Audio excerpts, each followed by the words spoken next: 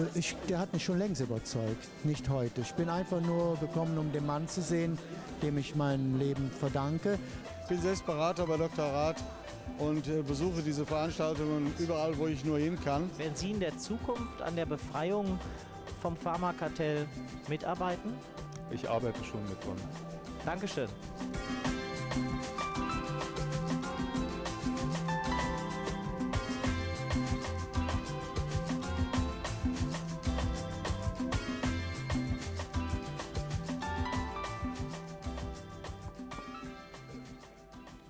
Ja, guten Abend, meine Damen und Herren. Im Namen der Doktorat Health Foundation heiße ich Sie ganz herzlich willkommen zu dieser Veranstaltung über Fortschritte und Erfolge in der Zellularmedizin. Zunächst, mein Name ist Lutz Kliche, ich bin im Leitungsteam der Doktorat Gesundheitsallianz tätig und möchte Ihnen zunächst ein paar technische Hinweise weitergeben. Zunächst der ganz einfache, den Sie schon aus ähnlichen Veranstaltungen kennen. Bitte schalten Sie die Handys aus, damit Sie damit nicht Ihre umsitzenden Nachbarn und unsere Tonanlage stören. Zweitens und wichtiger, Sie haben gesehen, dass wir im Foyer ein sehr reichhaltiges Informationsangebot für Sie vorbereitet haben. Es sind dort Informationsmaterialien, Broschüren, Bücher angeboten. Die Doktorat Health Foundation hat dort einen Informationsstand, die Gesundheitsallianz. Äh, es ist der Patientenbund mit seinem Vorsitzenden Werner Pilniok vertreten und äh, wenn Sie das nicht schon vor der Veranstaltung getan haben, bitte ich Sie im Anschluss dieses Informationsgebot dann auch äh, zu nutzen.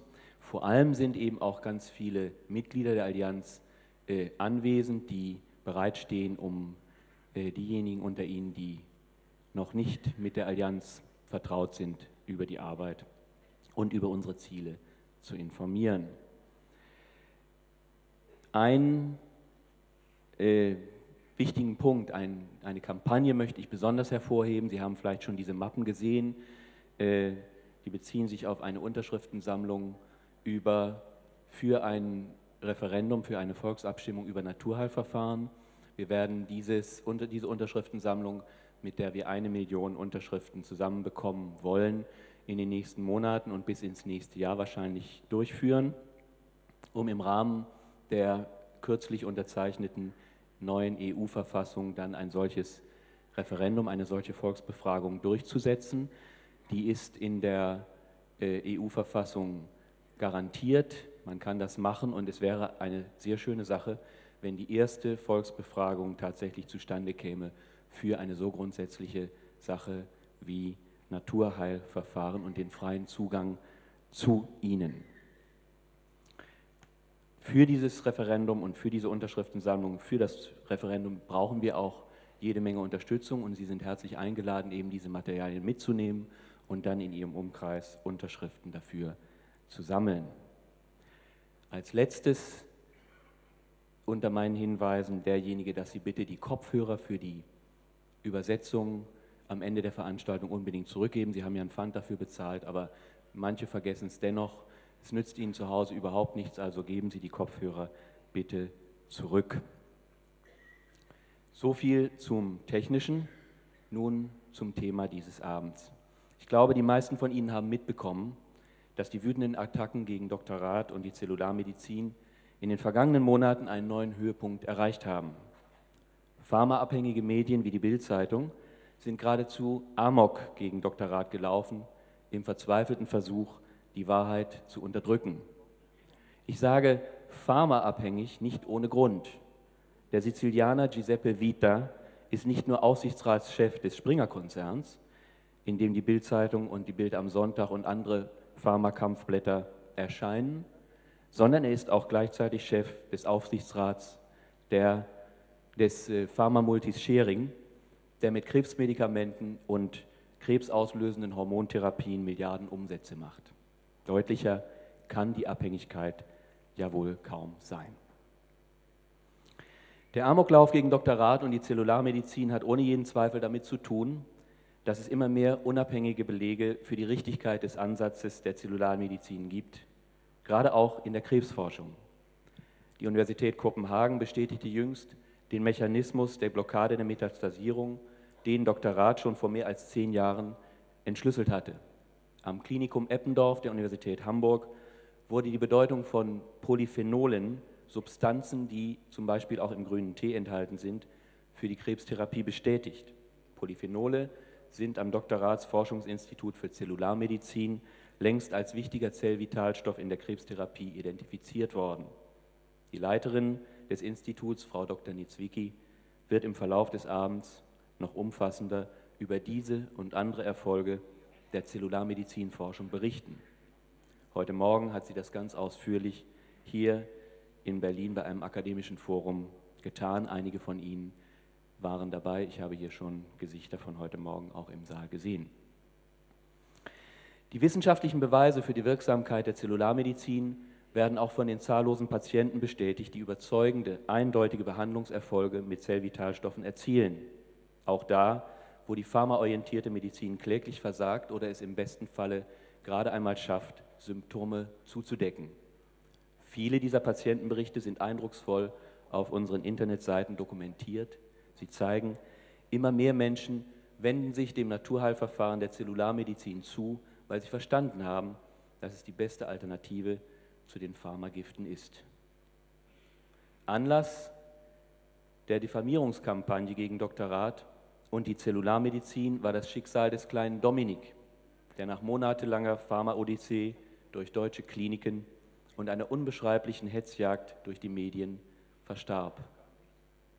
Seit Professor Jürgens von der Universitätsklinik Münster Dominiks Eltern das Sorgerecht für ihren Jungen entziehen ließ, ist Dominik zu einem besonders krassen und besonders traurigen Beispiel für eine unmenschliche Chemomedizin geworden, die verbissen ein Konzept, ein überholtes Konzept, die Chemotherapie verteidigt, dessen Scheitern längst offensichtlich geworden ist.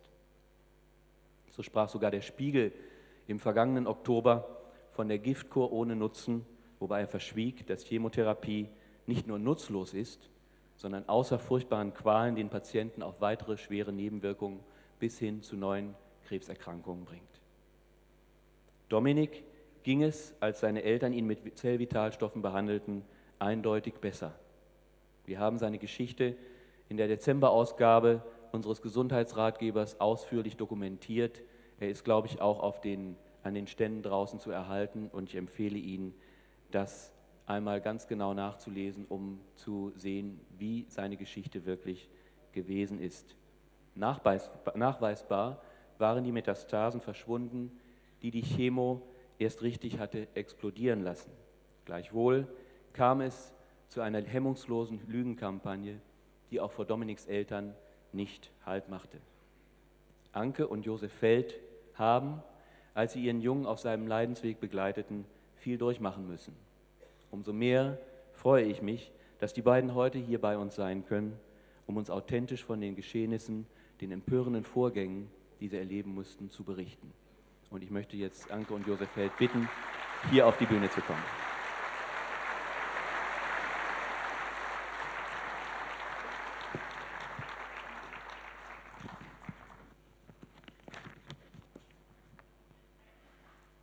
Guten Abend, meine Damen und Herren. Es ist nicht einfach für mich, vor Ihnen zu stehen und alles noch einmal kurz Revue passieren zu lassen. Aber nachdem immer wieder Menschen anrufen und fragen, was ist die Wahrheit, wie stehen Sie zu Dr. Rath und der Zellularmedizin, stimmt es, was die Medien schreiben, haben wir angefangen, unsere Erlebnisse, die Wahrheit über Dominik im Internet im Gesundheitsratgeber sowie in Rat international zu schreiben, da wir sonst keine Möglichkeit hatten, dieses zu tun. Wollten wir Sachen in unserer Tageszeitung klarstellen für die Menschen in unserer Umgebung, bekamen wir von der Rheinzeitung zu hören, dass von oberer Stelle gesagt wurde, dass von Familie Feld nichts mehr gebracht werden durfte. Über uns und über die Zellularmedizin schon, aber nicht von uns. Die häufigste Frage ist, wie stehen Sie zu. Rath und der Zellularmedizin? Mit sehr großer Dankbarkeit. Dankbar dafür, dass es einen Menschen gibt, ja viele Menschen, sein Forschungsteam, sowie die ganze Gesundheitsallianz, die trotz schwerer Verleumdungen und immer noch trotz schwerer Verleumdungen immer noch gerade ihren Weg gehen und ihr Leben und Wissen so einsetzen, dass alle, die davon profitieren wollen, es auch können. Ich möchte die Frage auch an Sie alle hier weitergeben. Wie stehen Sie zu einem Menschen, der durch seine Forschung, seine Hilfsbereitschaft, seine Freundschaft Ihrem Kind hilft, zu gesunden und gesund zu werden? So wie Dominik es selbst auf eigenen Wunsch in Mainz sagte. Seit ich die Vitamine von Dr. Rath nehme, geht es mir schon viel besser. Und das eben durfte nicht sein. Ein Kind als lebender Beweis, dass die Zellularmedizin recht hat, kann eine pharmaabhängige Ärzteschaft nicht brauchen. Sie hätten ihn nie in Ruhe gelassen. Bei jedem CT hätten wir genau überlegen müssen, wo wir hingehen, um objektiv beurteilt zu werden. Professor Jürgens aus Münster war entsetzt, dass wir das Sorgerecht wiederbekamen und schrieb an die Staatsanwaltschaft, sollte dieses Kind einmal sterben, wird er obduziert. Er hätte einen Autounfall haben können, dann hätte die Obduktion trotz allem ergeben, dass er an Krebs gestorben ist. So wichtig war dieses Kind, denn hier ging es um Dr. Rath und seine Forschung. So ging die Angst mit uns. Was ist, sollte Dominik einmal krank werden? Und dann beim Fußballspiel bekam er einen Lederball an die rechte Schläfe. Nach der Chemo werden die Gefäße porös. Und so ist es zu erklären, dass sich dort ein Hämatom bildete, das in einer Notoperation entfernt werden musste. Sie hatten ihn zurück und natürlich in ihren Augen mit Krebs. Der Chirurg, der Dominik operierte, sagte unter Zeugen ein kastaniengroßes Hämatom. Im Bericht an das Kirchener Krankenhaus stand nachher kastaniengroßer, bösartiger Tumor, Osteosarkom. So ging damals schon von Münster das Gericht an die Presse, Dominik sei voller Metastasen. Da sie den Knochen erst nach sechs Wochen einsetzen wollten, wegen des Hirndrucks, mussten wir wieder in die Klinik zurück. Bei der Voruntersuchung zur OP zwecks Knocheneinsetzen sagte man uns anhand eines CTs, Dominik hätte einen faustgroßen Tumor. Wir waren entsetzt und wollten mit dem damaligen Chirurgen sprechen, aber er war für uns nicht zu sprechen. Wir sollten in drei Tagen zur OP kommen. Einen Tag vor der OP kam ein Anruf eben dieses Chirurgen, der sagte, ich habe mir die Bilder noch einmal genau angesehen.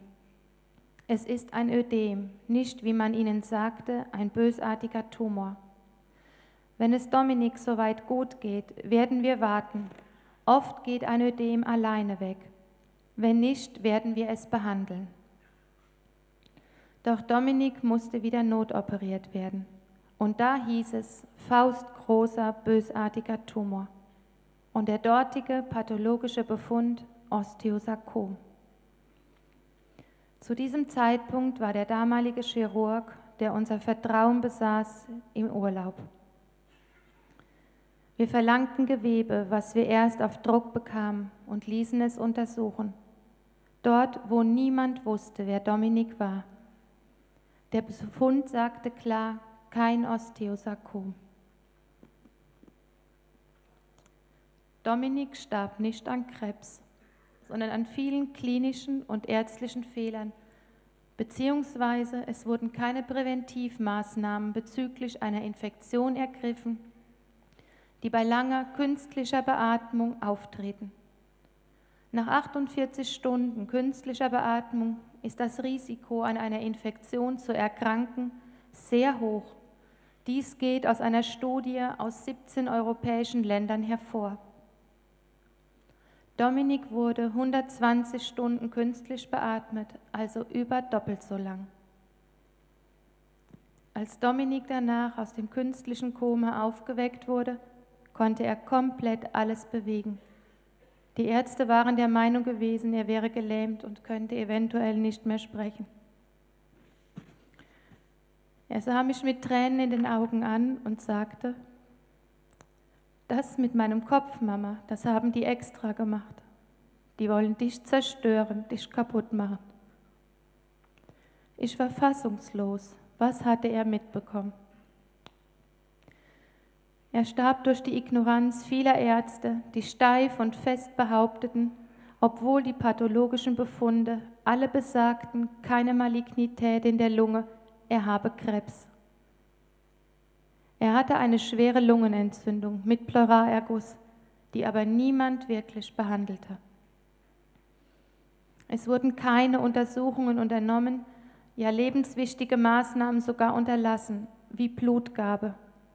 Humanalbumin bekam er nur auf Druck und dann noch zu wenig. Und auf Anfrage nach hochdosiertem Vitamin C bekamen wir von einem Chefarzt der Kinderstation in Kirchen zu hören, intravenös sei Vitamin C toxisch und so müsse er dies aus ethischen Gründen ablehnen. Aus ethischen Gründen konnte er aber vertreten, Dominik einen suggestiven Leidensweg zuzumuten, indem er ihm mit mehreren Ärzten versuchte, starke Schmerzen einzureden, die Dominik verneinte. Immer wieder sagte er, du hast große Schmerzen, Dominik. Bis Dominik ganz verstört sagte, Mama, warum muss ich Schmerzen haben? Als sie damit nicht zurande kamen, versuchten sie es mittels eines Priesters, Dominik in Todesangst zu versetzen, indem sie von dem Priester verlangten, er solle Dominik sagen, morgen stirbst du. Der Priester war fassungslos und weigerte sich. Er war so schockiert, dass er sich diese Unterredung mit Datum vermerkte. Dominik sagte immer wieder, ich muss hier weg in ein anderes Land. Hier will mir keiner mehr helfen. Meine Lunge ist krank, aber es ist kein Krebs. Du musst das den Ärzten sagen. Aber davon wollten sie nichts wissen. Sie redeten nur von Krebs im Endstadion und, vor, und Morphium, was der Junge unbedingt brauche. Und weil sie mit ihren Versuchen scheiterten, uns zu beeinflussen und durcheinander zu bringen, war der letzte Schritt über das Familiengericht in Betzdorf. In unseren Akten steht, dass sie den evangelischen Seelsorger des Krankenhauses um Rat fragten und der ihnen geraten hatte, uns beim Familiengericht anzuzeigen. Dieser Seelsorger hat uns und Dominik nie gesehen. Er konnte also, ohne sich ein Bild von uns zu machen, so einen Rat geben. Warum waren sie so erpicht darauf, Morphium zu verabreichen? Jemand, der sich mit Morphium auskennt, weiß, dass dieses in eine tiefe Vagotonie stürzen und sogar zum Tode führen kann. Und so entzog man uns am 30.08.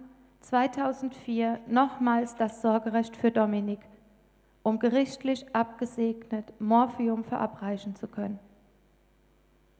Er wollte heim. Er bekam auch immer wieder von dem Arzt gesagt, ja, morgen, morgen.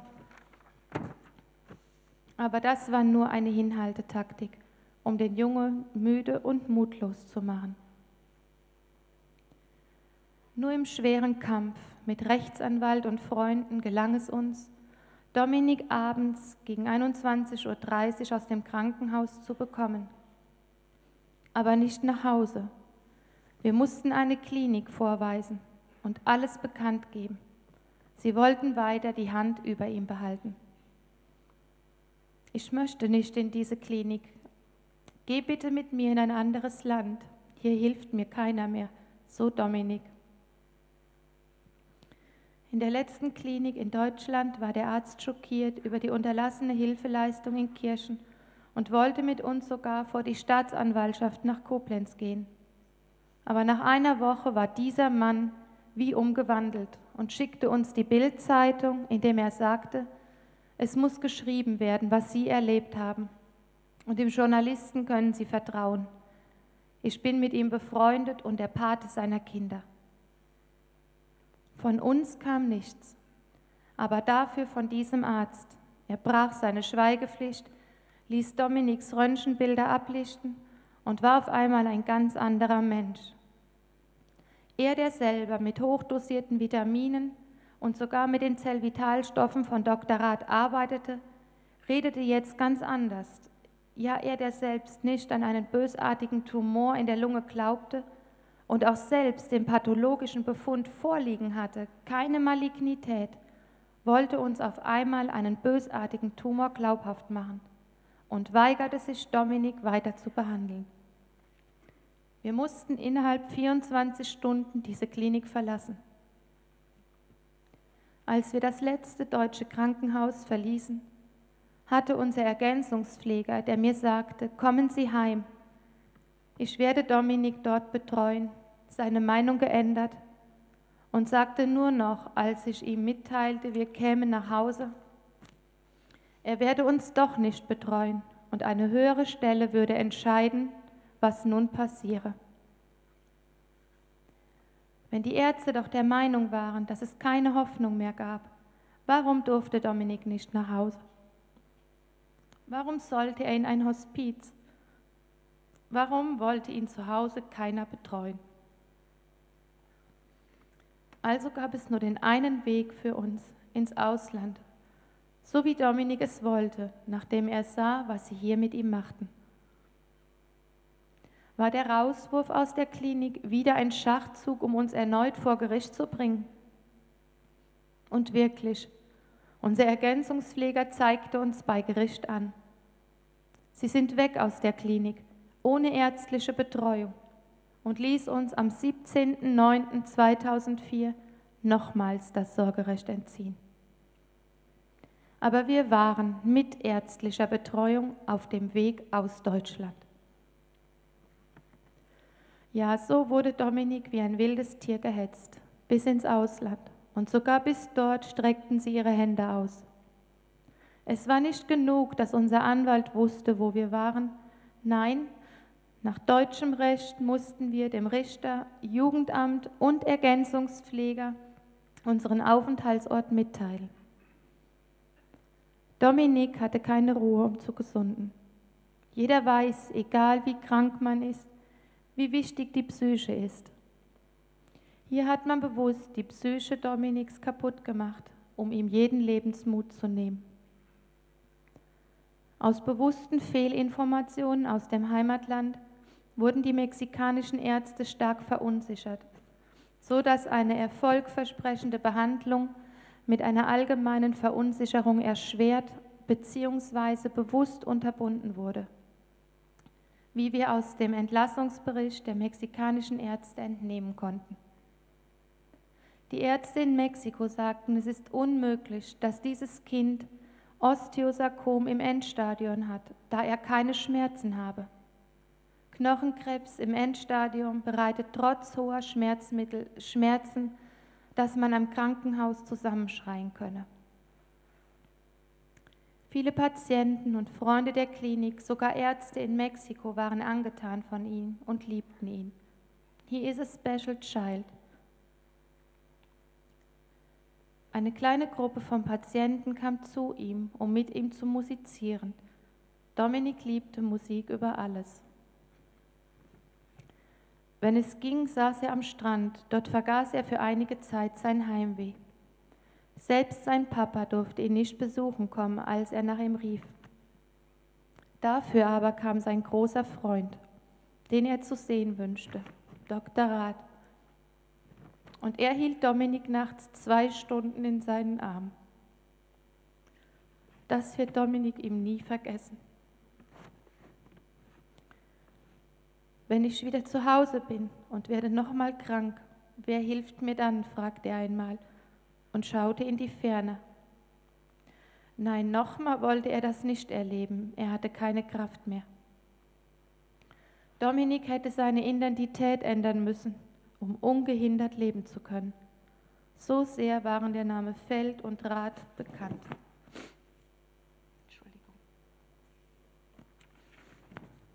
Aber er verwies immer wieder auf seine Lunge, dass hier etwas geschehen müsse.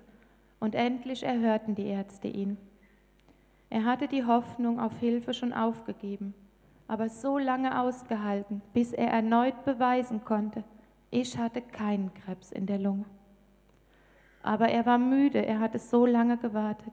Er konnte nicht mehr. Ein lebenslustiger Junge war körperlich und seelisch gebrochen. Er wollte heim. Er sagte es so anders, dass ich fragte, wer ist noch in dem Zuhause? Der Heiland, sagte er.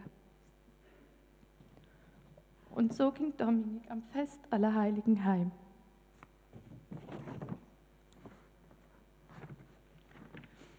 Für seinen Papa und seine Geschwister war es sehr schwer. Wir hatten alle gehofft, bald wieder zusammen zu sein. Damit sie in Ruhe von ihm Abschied nehmen konnten, wollten wir in aller Stille Requiem und Beerdigung begehen. Aber auch im Tod ließ man ihn und uns nicht in Ruhe. Wir hatten nichts bekannt gegeben, um Ruhe vor dem Sturm zu haben, aber es kam anders. Am Montagmorgen, dem Tag der Beerdigung, rief die Polizei aus Betzdorf an, um uns mitzuteilen, dass sie Dominik beschlagnahmen würden für eine Obduktion.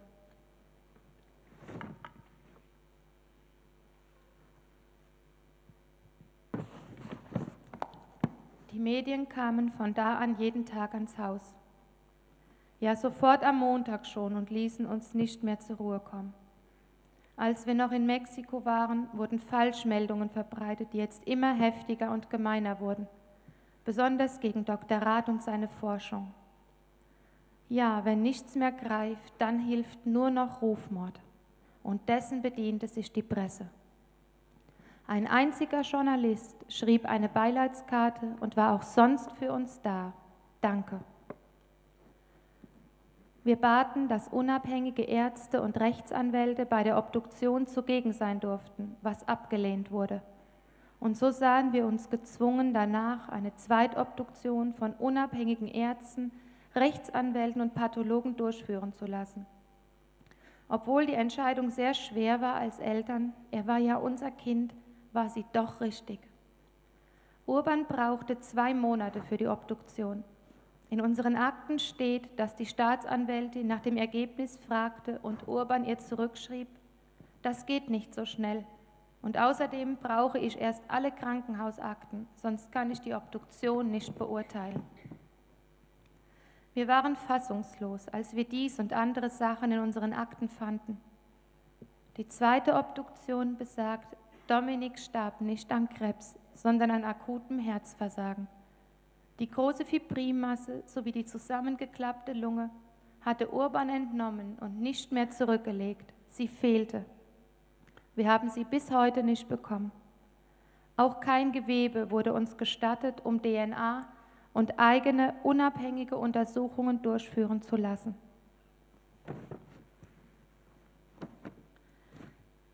Ihm geht es gut. Wir sind die Trauernden, die es immer noch nicht fassen können dass wir das erleben mussten, dass es Realität ist. Wir vermissen ihn sehr. Er hatte noch so viele Pläne. Danke allen Menschen, die uns unterstützt haben und weiter unterstützen mit lieben Briefen, Gebeten und sonstigen Unterstützungen. Danke Ihnen, Dr. Rath, dass Sie den Weg mit uns gegangen sind. Dominik wird es Ihnen niemals vergessen was sie für ihn getan haben. Er wäre gerne den Weg mit ihnen gegangen, aber man ließ ihn nicht. Sie haben jetzt einen Fürsprecher im Himmel. Thank you, Dr. Nitzwicki, for your love and help in Mexico for Dominic and me. Dominic will never forget you in heaven. Give my regards to Dr. Vadim and Stella and to your team in California. Thank you. Danke auch ganz besonders den Ärzten, die Dominik halfen und betreuten, zu denen er Vertrauen hatte, für die ihr Beruf noch Berufung ist. Zwei seien hier genannt. Dr. Baumgart aus München, der Dominiks Bein rettete, und Dr. Hartrich, der uns begleitete. Danke auch den Menschen, die mit mir und Dominik in Mexiko waren. Sie waren Fremde und immer für uns da. Wir wurden Freunde. Danke Harald, Karin, Mirja und Helen. Es ist schwer, trotz des Schmerzes weiterzukämpfen. Aber wir sagten einmal, dass dieser Kampf für alle Dominiks ist. Und so soll es auch sein. Wir wollen weiter aufklären und mithelfen, die Wahrheit über die Zellularmedizin zu verbreiten, die Menschen zum Nachdenken und bewusstem Umgang mit der Gesundheit zu bewegen. Immer wieder wird uns die Vergangenheit mit ihren diktatorischen Machenschaften vor Augen gehalten. Es war auch eine himmelschreiende Sünde, was damals geschehen ist. Aber das sollte uns nicht blind machen für die Gegenwart, in der auch vieles im Argen liegt und wir in einer Diktatur leben, ohne es richtig zu merken. Denn die mächtigen Pharmakonzerne üben eine diktatorische Macht auf alle Bereiche aus, besonders in der Medizin.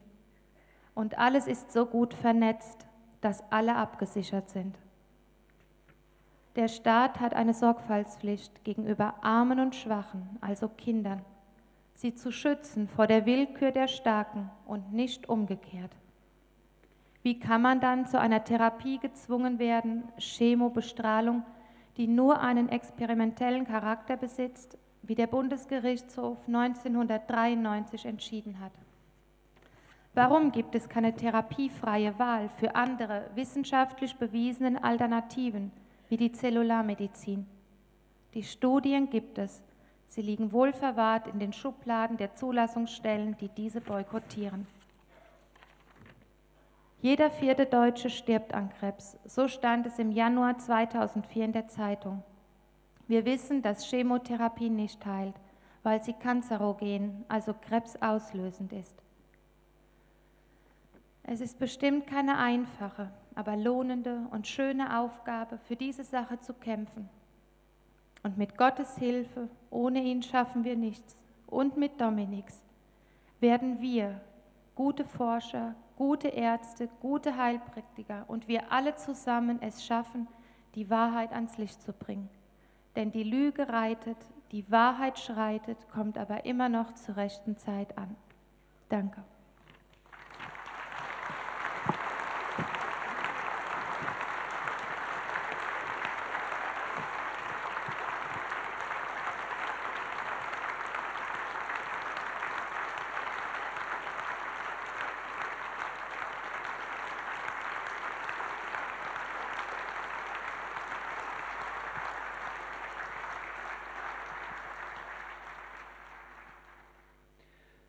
Danke, Anke und Josef, für diesen wirklich erschütternden Bericht über den Leidensweg eures Jungen, der zugleich ein beklemmendes Zeugnis ist von einer unmenschlichen Medizin, die, wie ich vorhin schon sagte, verbohrt und verbissen an alten Konzepten hängen bleibt und nicht wahrnehmen will, nicht akzeptieren will, dass Krebs kein Todesurteil ist mehr sein muss.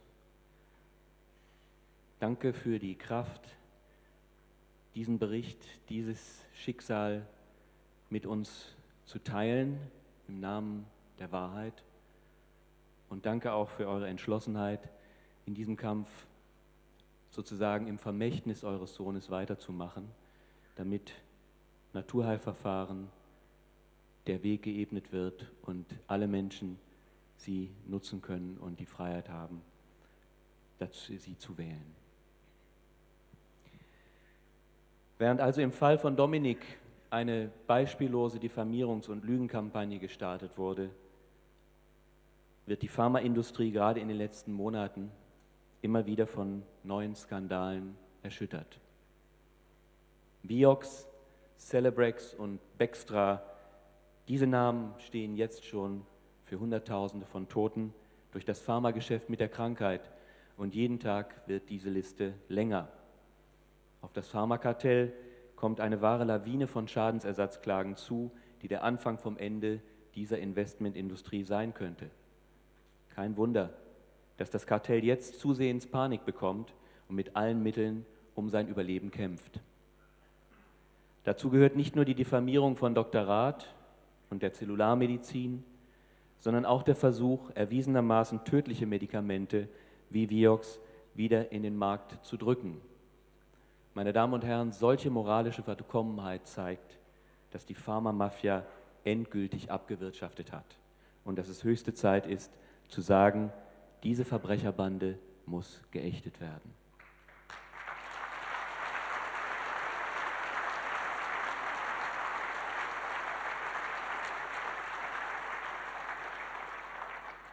Auf die Politik können wir uns dabei nicht verlassen.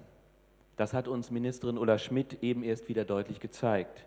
Für sie und ihre rot-grüne Regierung ist es kein Problem der Bevölkerung, der sie ja laut Grundgesetz verpflichtet ist, immer neue Gesundheitskosten, Praxisgebühren und dergleichen mehr aufzuzwingen, was gerade die ärmeren Menschen dazu zwingt, immer weniger Leistungen dieses sogenannten Gesundheitssystems in Anspruch zu nehmen.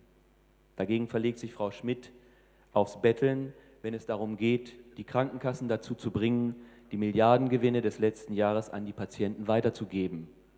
Die Krankenkassen lehnen das ihrerseits aber strikt ab und sagen, man müsse erst einmal abwarten, wie stark die Pharmakonzerne denn die Preise erhöhen wollen, bevor man solch eine Entscheidung treffen kann. Ein erbärmliches Spiel mit der Gesundheit von Millionen Menschen. Typisch Handlanger. Meine Damen und Herren, dagegen hilft nur eins. Anke hat es auch schon in dieser Richtung erwähnt. Wir müssen die Dinge selbst in die Hand nehmen. Wir müssen unsere Gesundheitsallianz stärken und ausbauen. In dieser großen Bewegung arbeiten jetzt schon Tausende von Menschen am Aufbau eines neuen Gesundheitswesens auf der Grundlage wirksamer und nebenwirkungsfreier Naturheilverfahren wie der Zellularmedizin. Der Mann, der durch seine wissenschaftlichen Entdeckungen wie niemand sonst über die Autorität verfügt, diese Situation zu analysieren und die Perspektiven, die Richtung aufzuzeigen, in die wir auf diesem Weg gemeinsam gehen müssen, ist Dr. Matthias Rath. Und ich möchte Sie bitten, jetzt mit mir Dr. Rath hier im Palais am Funkturm herzlich zu begrüßen. Vielen Dank.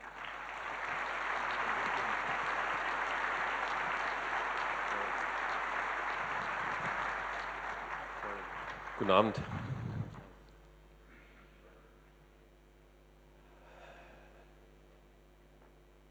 Ich weiß nicht, wie es Ihnen geht, aber ich kann gar nicht anders, als nochmals Frau und Herrn Feld für den Mut zu danken, den Sie hatten, hier aufzutreten. Ein Mut, der von Ihnen selbst gekommen ist. Ich glaube, das haben Sie auch gemerkt. Ich habe Frau Feld abgeraten, öffentlich zu sprechen, weil ich Angst hatte um sie. Weil ich Angst hatte, dass wieder die Schergen des Pharmakartells in den Schreibstuben der Bildzeitung und anderer Medien kommen und nichts Besseres zu tun haben, als wieder das Lügenspiel anzufangen.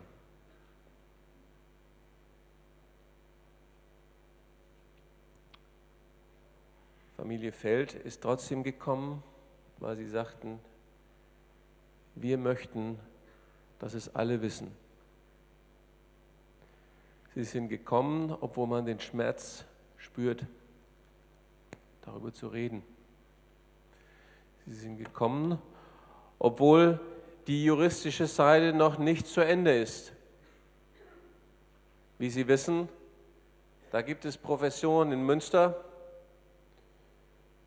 in Mainz und auch hier in Berlin, die sowohl die Familie Feld als auch mich hinter Gitter sehen wollen.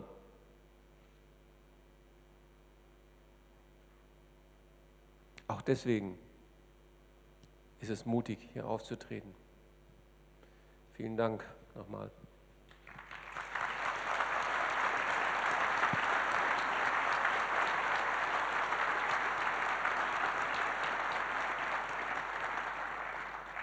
Weil ich das gerade angesprochen habe mit der juristischen Seite und weil es auch eine Frage ist, die in einigen Köpfen ist, wir haben noch nichts gehört.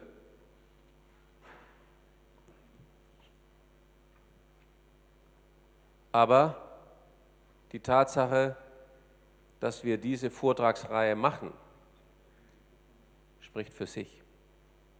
Wir wissen, dass wir recht haben.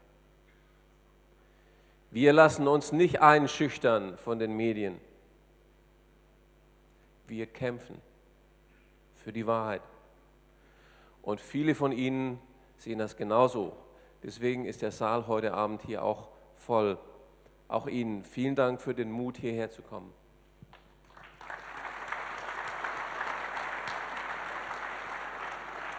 Ich möchte an dieser Stelle auch meinen Dank aussprechen an die Staatsanwaltschaft. Bisher hat sie sich klug verhalten. Sie hat sich eben nicht vor den Karren jener Pharmamediziner sperren lassen, die sie dazu instrumentalisieren wollten.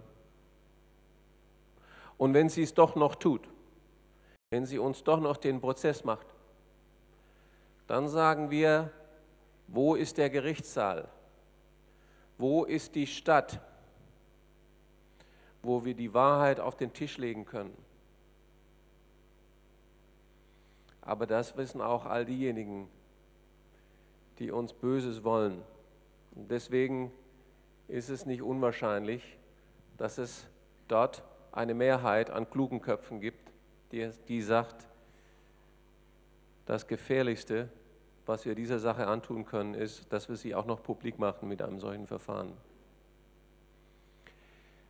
Wir geben uns nicht Spekulationen hin. Wir sind heute hier, um Ihnen zu berichten über die neuen Ergebnisse unserer Forschung, insbesondere im Bereich der Krebsforschung durch Frau Dr. Netzwicki, die hierher gekommen ist aus Kalifornien. Aber im Schlussteil werde ich, auch, werde ich auch auf eine andere Sache eingehen. Es reicht nicht mehr aus, die schlimmen Dinge aufzuzeigen. Wir haben das jetzt jahrelang gemacht. Aufklärungsarbeit über das schmutzige Geschäft mit der Pharmaindustrie. Wir müssen dazu kommen, nach vorne zu sehen. Kennen Sie dieses Beispiel der Genie in der Flasche? Die wächst immer und nimmt immer weiter zu und irgendwann will sie raus, weil sie Platz braucht. Und bevor sie rauskommt aus der Flasche, was kommt da noch? Da wird es nochmal ganz eng. Das ist ein Flaschenhals. Und Dominik die Auseinandersetzung um das Leben von Dominik, das war der Flaschenhals für die Befreiung der Menschheit von der Krebskrankheit.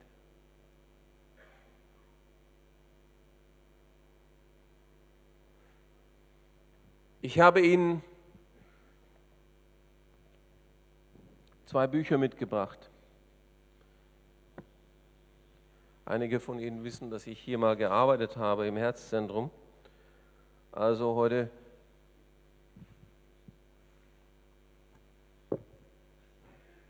möchte ich auch diejenigen Kollegen begrüßen, die da vielleicht da sind. Auch Kollegen, die nicht im Bereich der Kardiologie tätig sind, sondern in anderen Fachdisziplinen. Aber ich möchte es auch allen interessierten Zuhörern sagen, die Patienten sind. Es gibt einen bemerkenswerten Widerspruch. Hier ist ein Standardwerk der Biochemie, mitverfasst von einem der einer der Koryphäen der Biochemie, dem Lehrstuhlinhaber der Stanford Universität in Kalifornien, Lubert Stryer. In diesem Buch finden Sie auf 20 Seiten die Bedeutung von Vitaminen, Mineralstoffen für den Zellstoffwechsel ausführlichst dokumentiert. Ein Wissen, das seit rund 80 Jahren in allen Lehrbüchern der Biologie, der Biochemie, der Zellphysiologie, der Molekularbiologie dokumentiert ist.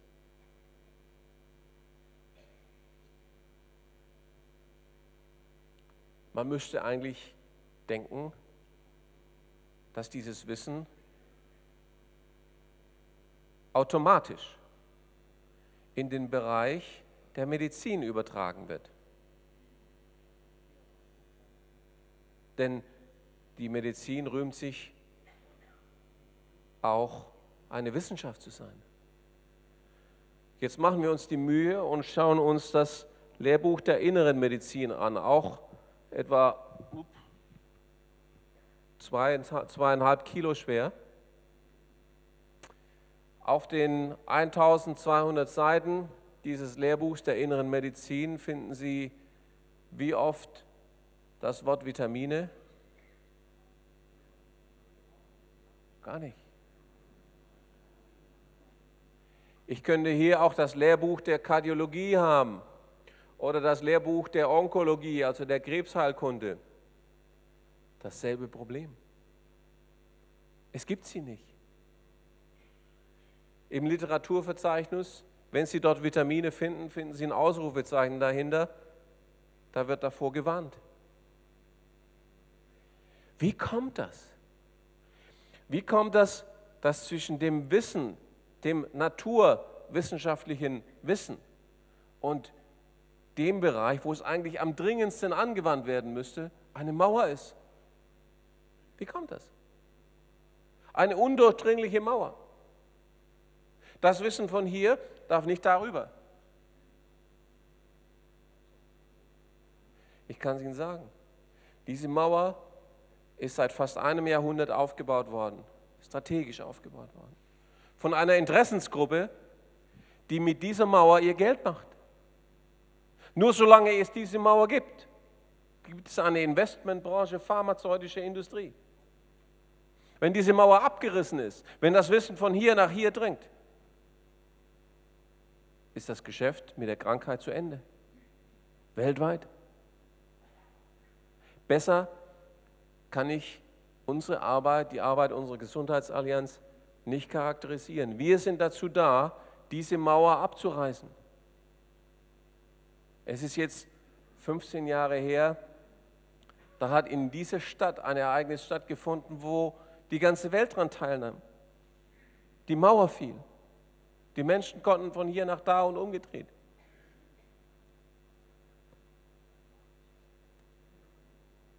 die letzten Monate und diese Vortragsreihe reißen die Mauer in der Medizin ein. Nicht nur für die Menschen in Berlin, nicht nur für die Menschen in Deutschland, sondern weltweit. Jetzt gibt es keine Möglichkeit mehr, die Krebskrankheit als Todesurteil weiter der Menschheit aufzuzwingen. Jetzt sind die Barrieren gefallen. Jetzt ist es möglich, dass diese Volkskrankheiten, die seit einem Jahrhundert die Menschen heimsuchen, obwohl sie keine sind, bald auf ein Mindestmaß reduziert werden. Das ist die Dimension dieser Woche. Das ist die Dimension des heutigen Abends. Wie viele von Ihnen sind denn zum ersten Mal beim Vortrag von Dr. Rath? Nehmen Sie mal die Hand hoch. War doch eine ganze Menge. Ich habe das am Anfang gesagt, damit Sie auch verstehen, worum es hier geht. Wir wurden ja, äh, selbst die äh, Kriminalpolizei Dortmund hat auf Antrag von Professor Jürgens ermittelt, ob es sich bei uns um eine staatsfeindliche Organisation handelt.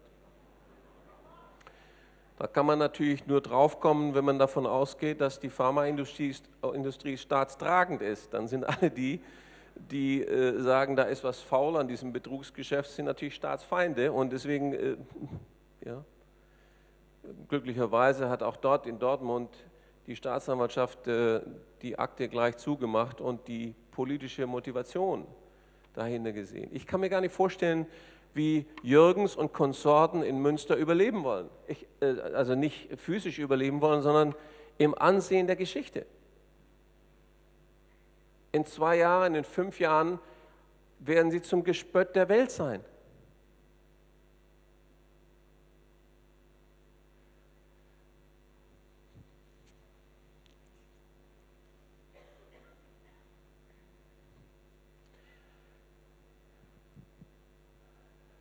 Wissen Sie, es geht nicht um die Obergrenze für Vitamin C heute Abend oder wie viel Kalzium pro Tag. Es geht um die Veränderung eines Weltbildes, das buchstäblich jedes Leben in dieser Generation und in zukünftigen Generationen betrifft. Deswegen habe ich ein paar Bilder an Anfang gestellt, die dies nochmal illustrieren sollen. Nicht, weil ich mich mit diesen Dingen vergleiche, aber die Sache selbst ist so zwingend. Über Jahrtausende war den Menschen klar, die Erde ist eine Scheibe, die Gestirne drehen sich um die Erde, konnte auch gar nicht anders sein. Die Sonne ging ja schließlich im Osten auf und im Westen unter. Wer das bezweifelte, war verrückt.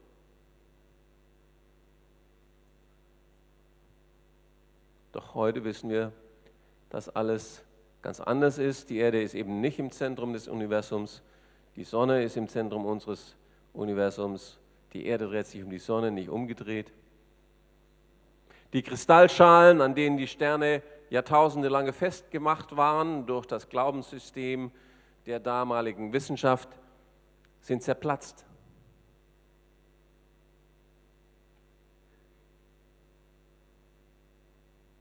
Diejenigen, die damals wagten, zum ersten Mal alles auf den Kopf zu stellen, wurden überall umarmt, begrüßt mit Freude, man hat sie gefeiert.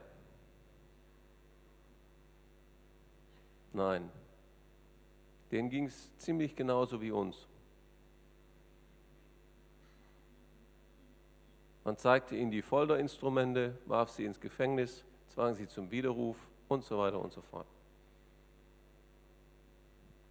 weil Macht bedroht ist. Immer dort, wo Macht bedroht ist, versucht man diejenigen Mund zu tot machen, die diese Macht gefährden. Damals wie heute. Dasselbe gilt natürlich auch für Erkenntnisse in der Medizin oder insbesondere für Erkenntnisse in der Medizin, weil Medizin ist Macht.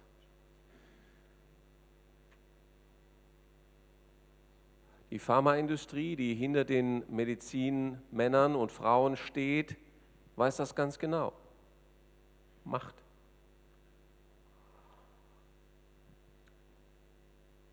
Ein Beispiel bringe ich Ihnen aus der Geschichte, wo sich Weltbilder in der Medizin geändert haben. Über Jahrtausende waren die Volksseuchen das Wichtigste, was die Menschen beeinträchtigte, die Haupttodesursache und das, wovor sie wirklich Angst hatten.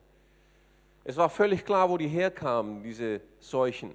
Es war die Strafe des Himmels für die Sünden der Menschen auf der Erde. Niemand fragte danach, niemand wagte es zu bezweifeln. Es war klar. Und dann fragten doch die Ersten nach, na, vielleicht gibt es doch kleine Lebewesen in unserem Körper, Mikroorganismen, die das verursachen. Die ersten Mikroskope waren entwickelt worden und es war möglich, diese Untersuchung zu machen. Und tatsächlich, man stellte fest, es gibt Mikroorganismen, die diese Seuchen verursachen. Einer der ersten war Louis Pasteur. Der fand heraus, dass Tollwut, damals eine ganz wichtige Geschichte, durch einen Mikroorganismus, einen Erreger, verursacht wird. Tja, der rote Teppich wurde für ihn ausgerollt. Louis, du bist der Größte, sagen sie. Ja, auch nicht. Die Akademie der Wissenschaften in Paris sagte, was du da erzählst, vergiss es. Du bist ja noch nicht mal ein Arzt. Du bist ja nur Chemiker. Und so vergingen 25, 25 lange Jahre, in denen die Menschen an Krankheiten starben, die damals schon hätten der Vergangenheit angehören können. Sie wurden genauso lächerlich gemacht wie wir. Es gab Karikaturen damals, die die Arbeit von Pasteur und seinen Kollegen verhohnepiebelten. Die Impfstoffe aus Kuhserum gewonnen, sollten angeblich Kühe aus den Armen der Menschen wachsen lassen. Dasselbe Muster.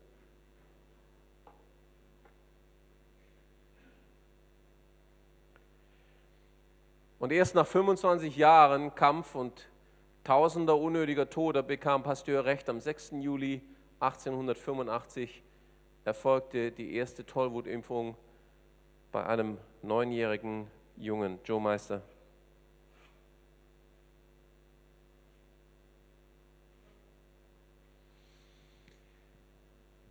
Für diejenigen unter Ihnen, die zum ersten Mal da sind, es gibt mehrere Bereiche, in denen die Zellularmedizin die Volkskrankheiten von heute bald auf den Platz verweisen wird, der ihnen zusteht. Den von einer Krankheit, die keine Volkskrankheit mehr ist. Es wird immer noch Herz-Kreislauf-Erkrankungen geben, die angeborene Art sind. Aber Herzinfarkt und Schlaganfall als Massentodesursache wird es in zukünftigen Generationen nicht mehr geben.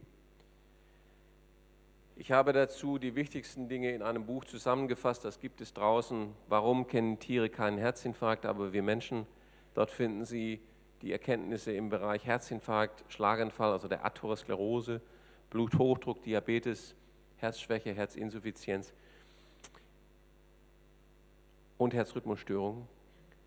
Ich möchte nicht weiter darauf eingehen, weil der Schwerpunkt Krebs ist. Also meine Bitte, für diejenigen unter Ihnen, die da mehr wissen möchten, nehmen Sie sich das Buch mit. Durchbruch der Zellularmedizin im Kampf gegen Krebs.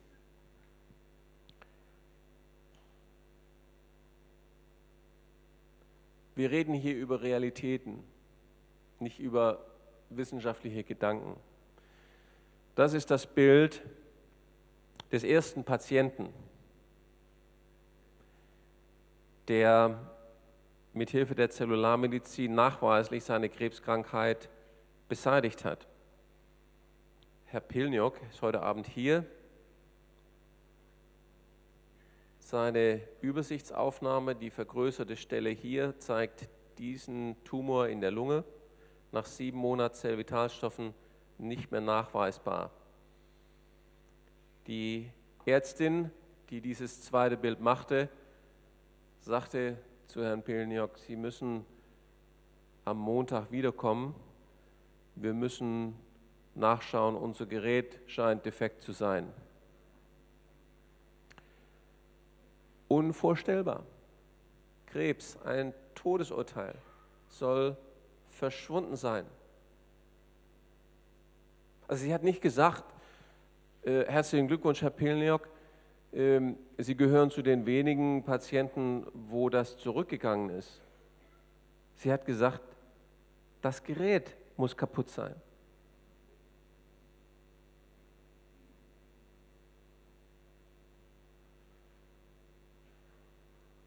Eine Patientin aus Österreich, ein metastasierendes Lymphom im Bereich des Knies.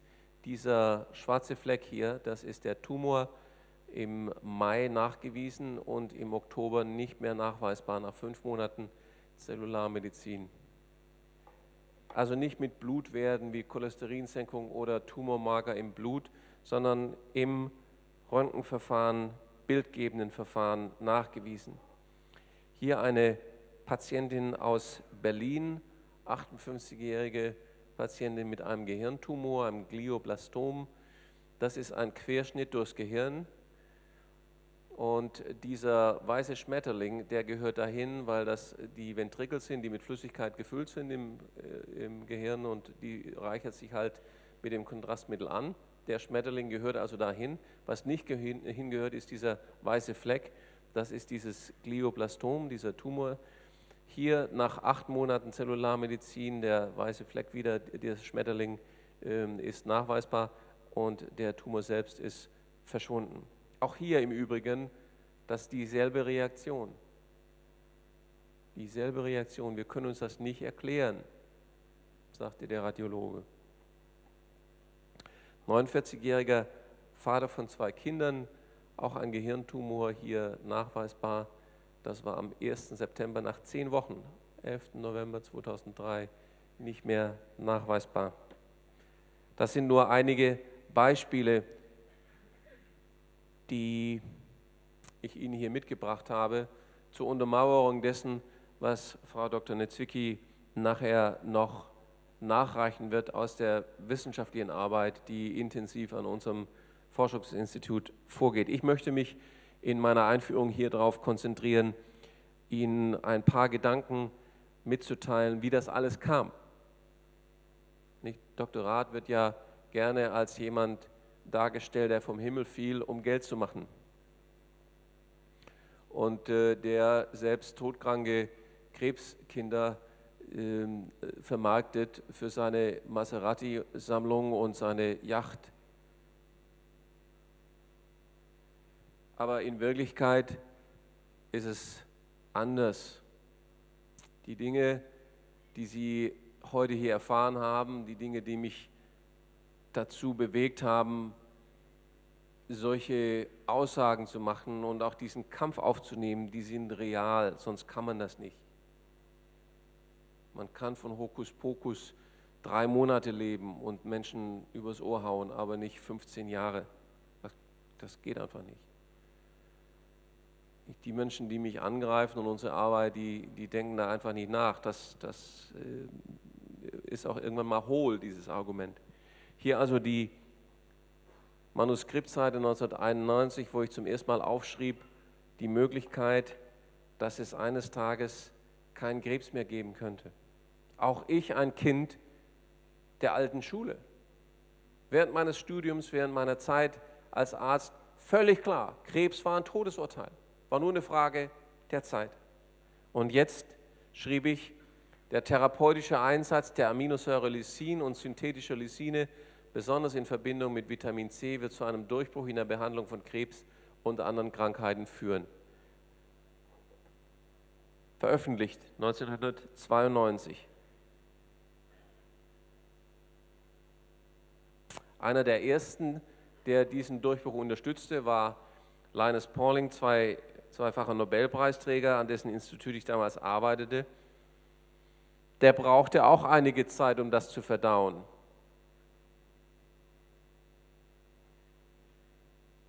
Und war dann allerdings einer der ersten Unterstützer, als es darum ging, das durchzuboxen. Er sagte mir kurz vor seinem Tod, deine Entdeckungen sind so bedeutend, dass sie ganze Industriezweige gefährden. Eines Tages wird es sogar Kriege geben. Viele von Ihnen, die unsere Arbeit während des Irakkriegs kennen, wissen, was ich dazu gesagt und geschrieben habe. Was war denn nun neu an diesen Entdeckungen? Was war der Augenblick, der der Medizin sagt, jetzt wissen wir etwas, was wir vorher nicht wussten?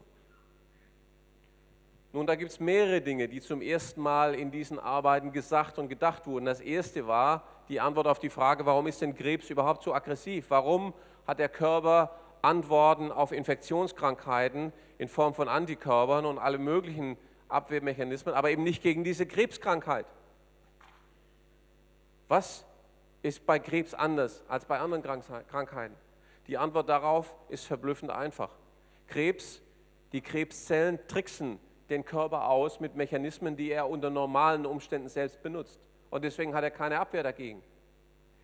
Ich will Ihnen das anhand von zwei Beispielen erläutern. Das eine ist der Eisprung, das andere ist nachher die Infektionskrankheit, also die Wanderung von weißen Blutkörperchen.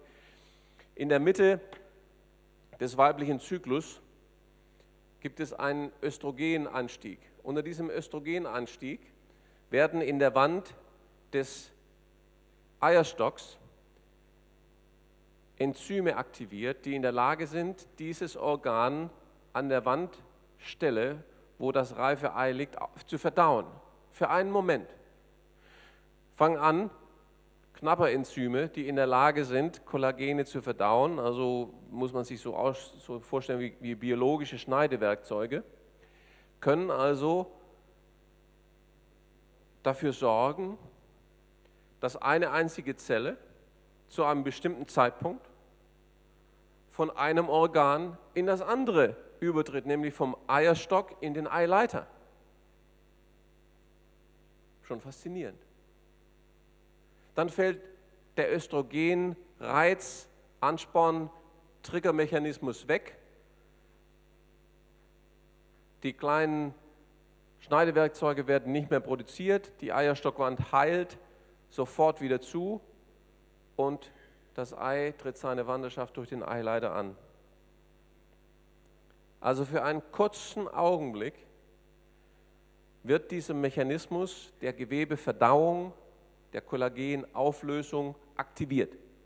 Und dann setzen die Kontrollmechanismen ein, die das wieder verschließen. Genau dasselbe Prinzip benutzen weiße Blutzellen, wenn sie wandern. Beispiel hier eine Lungenentzündung. Die weißen Blutkörperchen, die die Polizeizellen sind, müssen vom Blutgefäß in das Lungengewebe kommen. Wie machen sie das?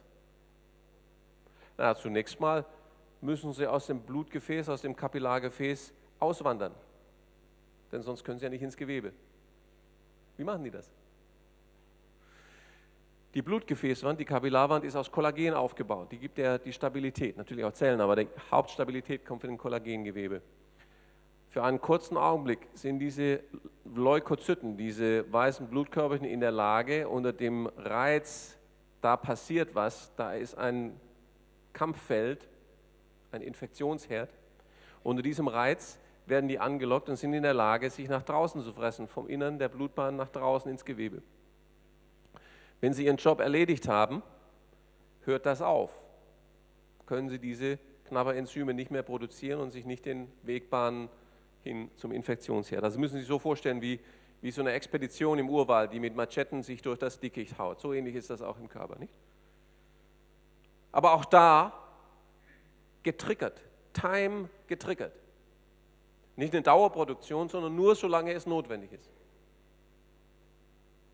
Aber jetzt können Sie sich vorstellen, was passiert, wenn die Zellen im Bereich des Eierstocks, Eileiters, der Gebärmutter, wenn die entarten und wenn die plötzlich nicht mehr aufhören können, diese Kollagen verdauenden Enzyme zu produzieren.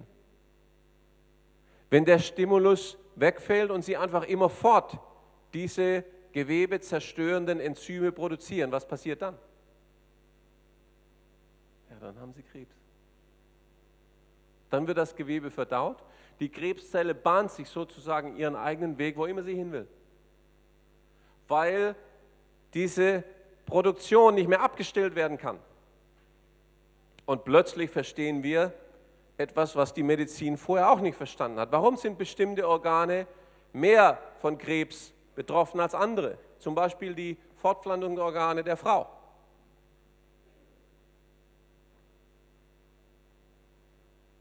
Völlig klar. Die Fortpflanzungsorgane sind in ständiger Umstrukturierung begriffen. Brust gehört auch dazu.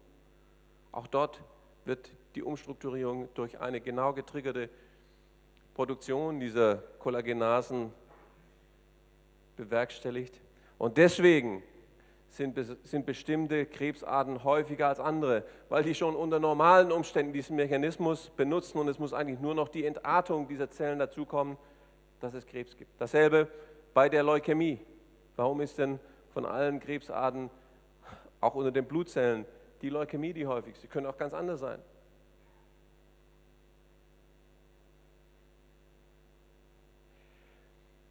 Wir verstehen jetzt auch noch was anderes, was bisher nicht verstanden war. Alle Zellen, alle, Krebs, sorry, alle Krebszellen, egal wo sie herkommen, benutzen denselben Mechanismus zur Ausbreitung. Kollagen verdauende Enzyme. Pac-Man, diese roten Dinger, die Sie da sehen.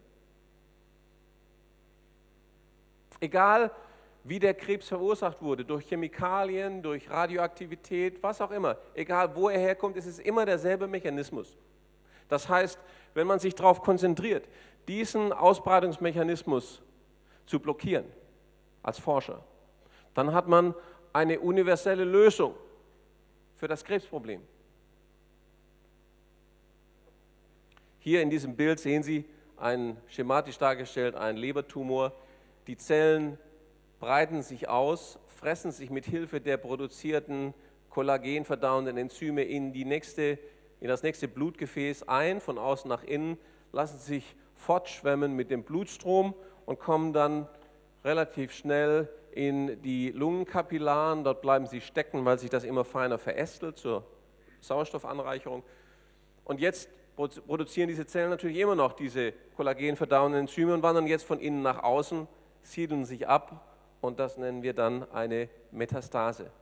Aber immer, immer ist es dasselbe Prinzip, wie sich diese Zellen ausbreiten. Und jetzt kommt die wichtigste Erkenntnis, es gibt in der Tat natürliche Wege, natürliche Moleküle, die in der Lage sind, diese Ausbreitung zu verhindern. Sie sehen hier diese grünen Dreiecke, das ist schematisch dargestellt die Aminosäure Lysin, die in der Lage ist, diesen Enzymen, diese Kollagen verdauenden Enzymen oder biologischen Schneidewerkzeugen den Mund zu stopfen. Können Sie nicht mehr an Kollagen anlagern, damit unterbleibt die Verdauung des Bindegewebes und die Krebszelle ist arrestiert, also ist an, einem, an einer Stelle festgehalten.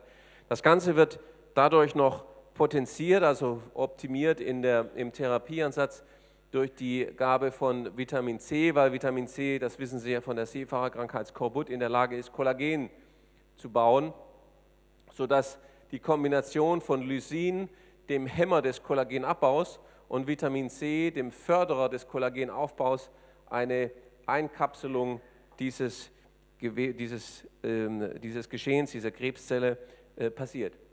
Dass noch zahlreiche andere Mechanismen eine Rolle spielen, werden Sie nachher von Frau Dr. Netzwicki hören. Tja, als wir das dann soweit ausgetüftelt hatten, haben wir gesagt, naja, also jetzt, jetzt dauert es nicht mehr lange, vielleicht zwei Jahre, dann ist die Geschichte gegessen und die ganze Welt äh, ist vom Krebs befreit, weil die, die Pharmaunternehmen müssen ja nur darauf warten. Das muss ja so sein. Das ist ja deren Geschäft, Gesundheit. Also, was macht Dr. Rath? Seinen jugendlichen Leichtsinn, setzt sich ins Flugzeug und fährt mal nach Basel zur Firma Hoffmann La Roche, mal nach Berlin zur Firma Schering. Tja, das, die Reisen hätte ich mir auch sparen können. Das war die ernüchterndste Zeit in meinem Leben. Zu erkennen, dass selbst diese,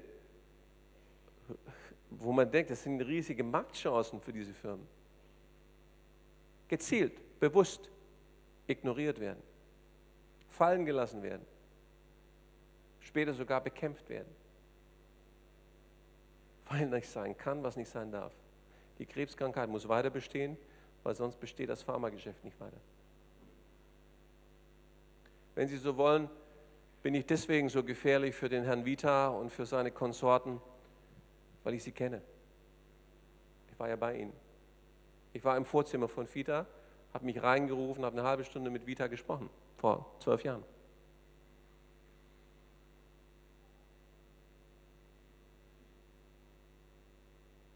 Ich kenne die, kenn diese Burschen. Deswegen die Aggression, deswegen die Verteufelung in den Medien.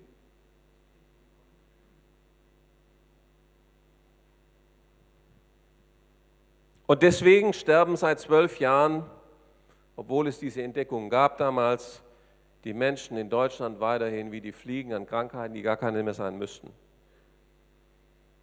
Allein in Deutschland jedes Jahr etwa 200.000, 220.000 Menschen.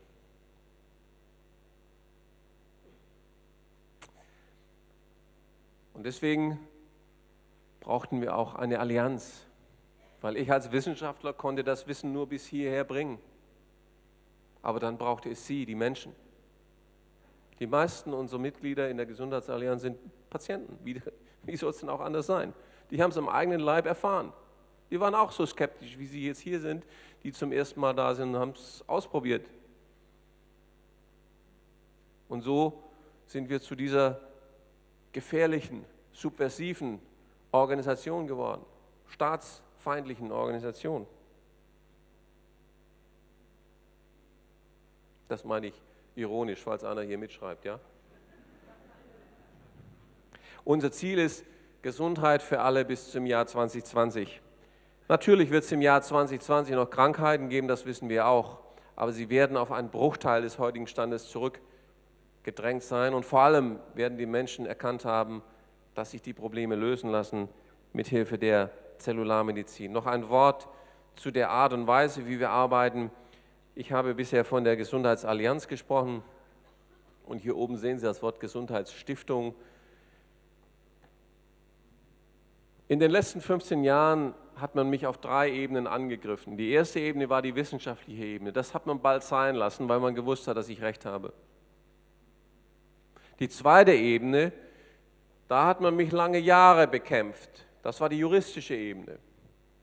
Aber im Oktober letzten Jahres, sorry, im Oktober 2003 hat ein Gericht hier in Berlin entschieden, dass unsere Naturheilstoffe genau das sind, Naturheilstoffe und eben keine Medikamente, wie das der Herr Steffen von der Zulassungsbehörde gerne gehabt hätte, weil dann hätte er uns natürlich ins Gefängnis bringen können für die einfache Umdefinition einer Vitaminkapsel in ein Medikament, kommt man ins Gefängnis.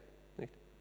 Aber der Richter hat das Spiel durchschaut und hat gesagt, das sind Nahrungsergänzungsstoffe, was wollen Sie hier überhaupt? Dritte, der dritte Bereich, als das alles gescheitert ist, war, den, war der Bereich, den die Anke Feld vorhin auch angesprochen hat, die persönliche Diskreditierung. Angriffe auf meine Person. Warum mache ich das? Die Motive. Guru, Halsabschneider, schwere Nöter, ach, ich habe so viele Komplimente. Nicht? Aber immer dieses Unterstellen eines ökonomischen Motivs, weil die können gar nicht anders denken. Das ist eben die Welt, in der wir leben. Wir haben auch in der Vergangenheit schon die Gelder für zwei Bereiche genommen, die den Aufbau der wissenschaftlichen Arbeit, das Institut wird darüber finanziert, die Studien und für die Aufklärungsarbeit. Aber jetzt habe ich diesen Schritt auch formal gemacht. Alle Gelder, die übrig bleiben aus der Arbeit der Gesundheitsallianz, das symbolisiert dieser Strich hier, gehen in die Doktorat Gesundheitsstiftung, eine gemeinnützige Stiftung, die genau denselben Zweck hat wie unsere Arbeit bisher auch. Die Forschung die unabhängige Forschung zu finanzieren und die Gesundheitsaufklärung. Wenn hier ein Journalist ist, der gerne morgen wieder pöbeln möchte in der Zeitung, lasst euch doch mal die Unterlagen schicken von der Handelskammer in den Niederlanden und verfolgt das nach und hört auf, endlich diesen Unsinn zu erzählen. Ich glaube, damit habe ich einen wichtigen Schritt gemacht, dass auch der letzte Zahn, den man in unser Fleisch rammen möchte, nicht mehr greift.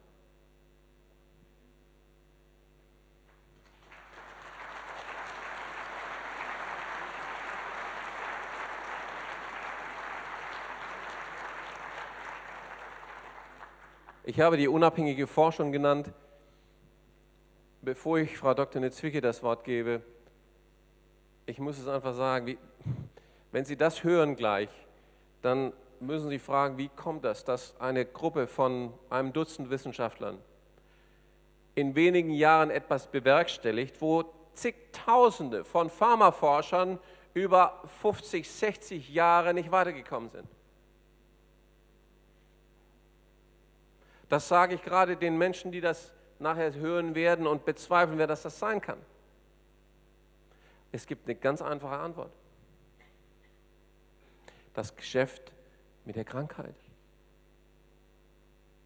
Der Krebsforscher ist nur so lange gut, wie er im Wald rumirrt und nicht zurückkommt mit der Lösung, die die Krebskrankheit beseitigt.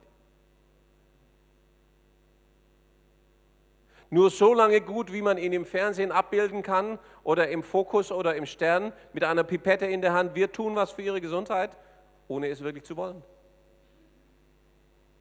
Denn wenn er zurückkäme aus der Dunkelheit mit der Lösung, dann wäre der Markt kaputt.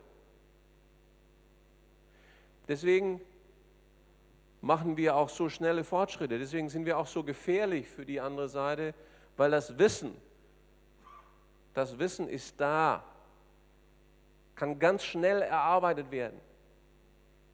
Man muss nur unabhängig sein. Man muss den Menschen und den Patienteninteressen dienen wollen und nicht den Interessen der Aktionäre der Pharmakonzerne. Das ist der kleine Unterschied.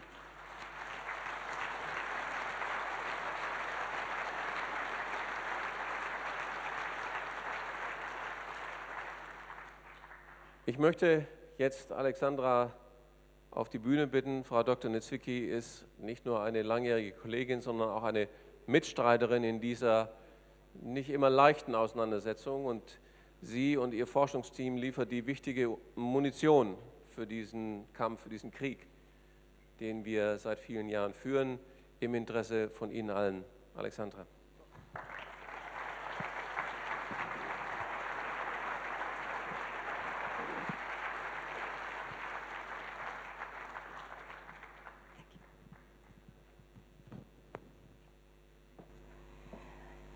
Guten Abend.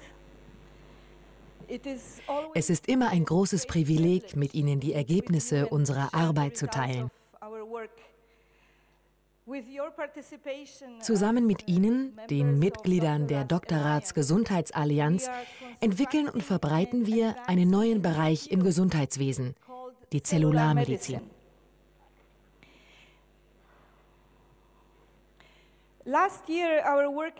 Letztes Jahr wurde unsere Arbeit in mehr als einem Dutzend führenden wissenschaftlichen Journalen veröffentlicht. Sie können unsere Arbeiten auf den führenden Webseiten für Wissenschaft und Medizin finden, wie zum Beispiel der Nationalen Bibliothek für Medizin. Wissenschaftler aus allen Ländern der Welt suchen dort nach Informationen oder wissenschaftlichen Hinweisen. Und hier können Sie, in gelb markiert, unsere neueste medizinische Veröffentlichung sehen, die zu Anfang des Jahres in führenden medizinischen Journalen erschienen ist, wie zum Beispiel Oncology Reports und Breast Cancer Research.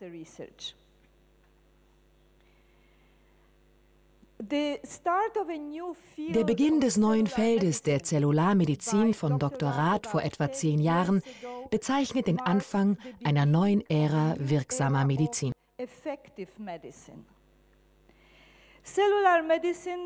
Die Zellularmedizin basiert auf natürlichen Substanzen wie Vitaminen, Mineralstoffen und Aminosäuren und nutzt Wissenschaft und moderne Technologien, um deren Wirksamkeit zu dokumentieren. Die Zellularmedizin basiert auf neuen wissenschaftlichen Konzepten, wie die, welche Dr. Rath Ihnen schon vorstellte.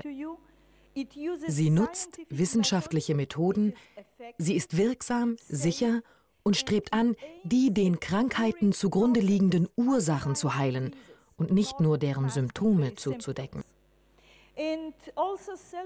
Die Zellularmedizin setzt Zellvitalstoffsynergie für einen maximalen gesundheitlichen Nutzen ein. Sie unterscheidet sich von den meisten natürlichen Methoden, die nur einzelne Vitalstoffe oder hohe Dosierungen von Inhaltsstoffen anwenden.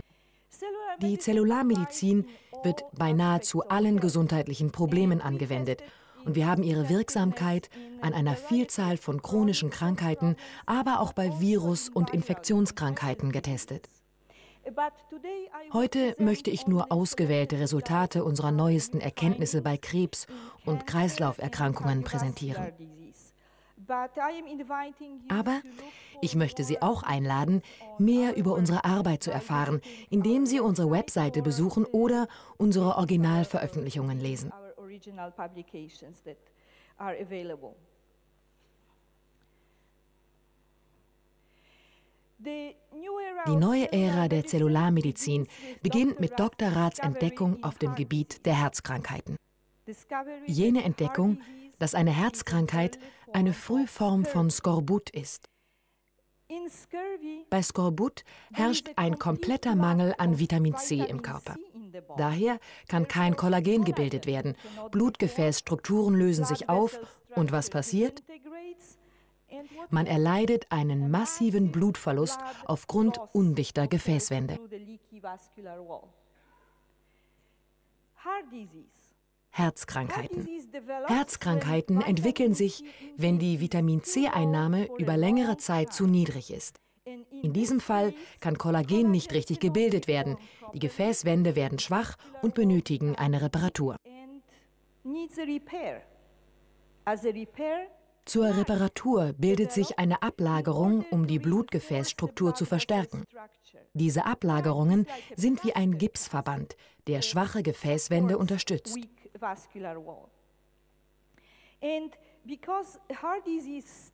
Coronarerkrankungen beginnen sich als ein Ergebnis chronischen Vitaminmangels in Millionen jener Zellen zu entwickeln, welche unsere Gefäßwände bilden.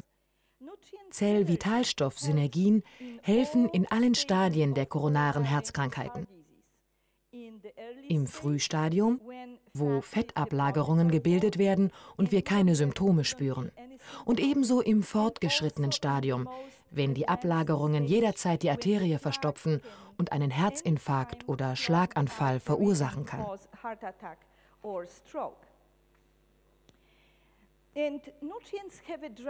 Zellvitalstoffe haben einen erheblichen Effekt auf die Ablagerung von Fetten in den Arterien, die erste Phase der Atherosklerose. Vitamin C ist ein Vitalstoff, der eine wichtige Rolle in der ersten Phase spielt, weil er die Stabilität der Blutgefäße beeinflusst. Und er beeinflusst auch die Cholesterolproduktion in der Leber. Er hat also einen zweifachen Effekt. Hier auf dieser Folie sehen Sie, dass eine Ernährung, die sehr reich an Fetten wie Butter und Schmalz, aber auch an Zucker ist, Fettablagerungen in den Arterien verursacht. Dies sind histologische Folien, Querschnitte einer Arterienwand, die hier unter geringer und starker Vergrößerung gezeigt werden. Sie können gelbe und oder orange-gelbe Flecken sehen, welche Fettablagerungen in der Arterienwand zeigen. Also Sie können auch sehen, dass diese intensiv gelben Fettflecken vorhanden sind, wenn die Ernährung wenig Vitamin C enthalten hat. Uh, Im Gegensatz dazu sehen Sie auf der rechten Seite, dass die Lipidablagerungen viel niedriger war, wenn die Vitamin C-Einnahme hoch war.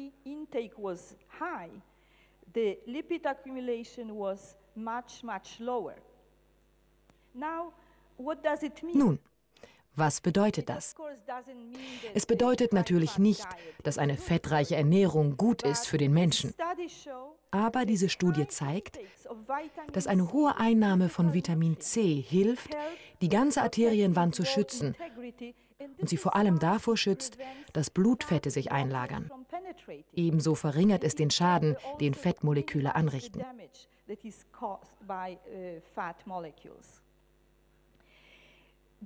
Das am meisten fortgeschrittene Stadium von Atherosklerose. Unsere Studien, klinische Studien zeigen, dass die Zellularmedizin hilft, koronare Verkalkungen zu reduzieren und sogar deren Verschwinden herbeiführt.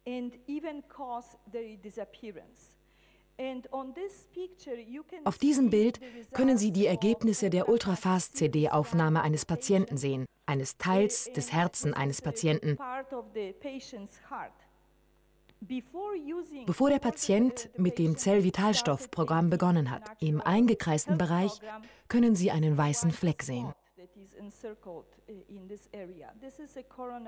Dies ist eine koronare Ablagerung, eine Kalkablagerung.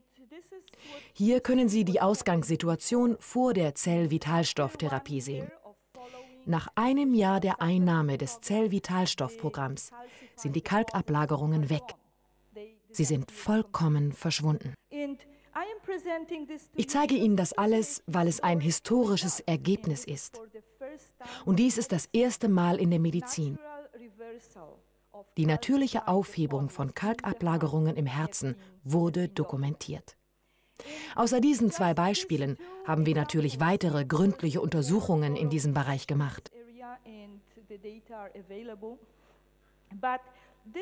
Aber diese wenigen Beispiele zeigen, dass Zellvitalstoffsynergien sehr wirksam sind, jedem Stadium der koronaren Herzkrankheit zugutekommen und das Risiko von Herzinfarkten und Schlaganfällen verringern können.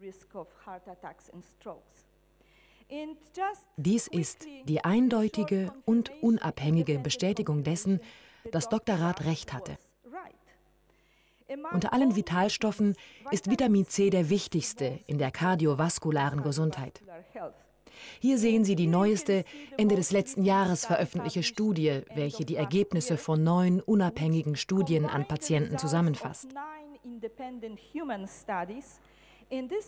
Diese Studie kommt zu dem Schluss, dass die Einnahme von mehr als 700 Milligramm Vitamin C pro Tag das Risiko für Herzkrankheiten verringern kann.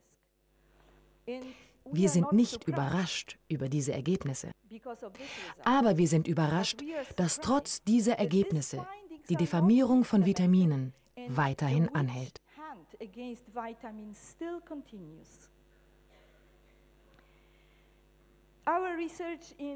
Unsere Forschung im Bereich Krebs.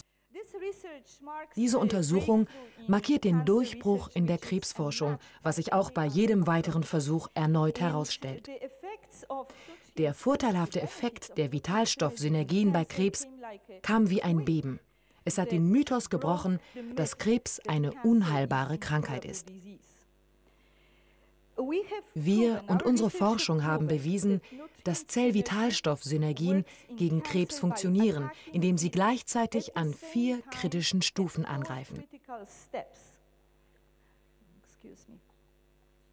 Eine ist die, dass Zellvitalstoffsynergien die Streuung von Krebszellen stoppen können, die Metastasierung.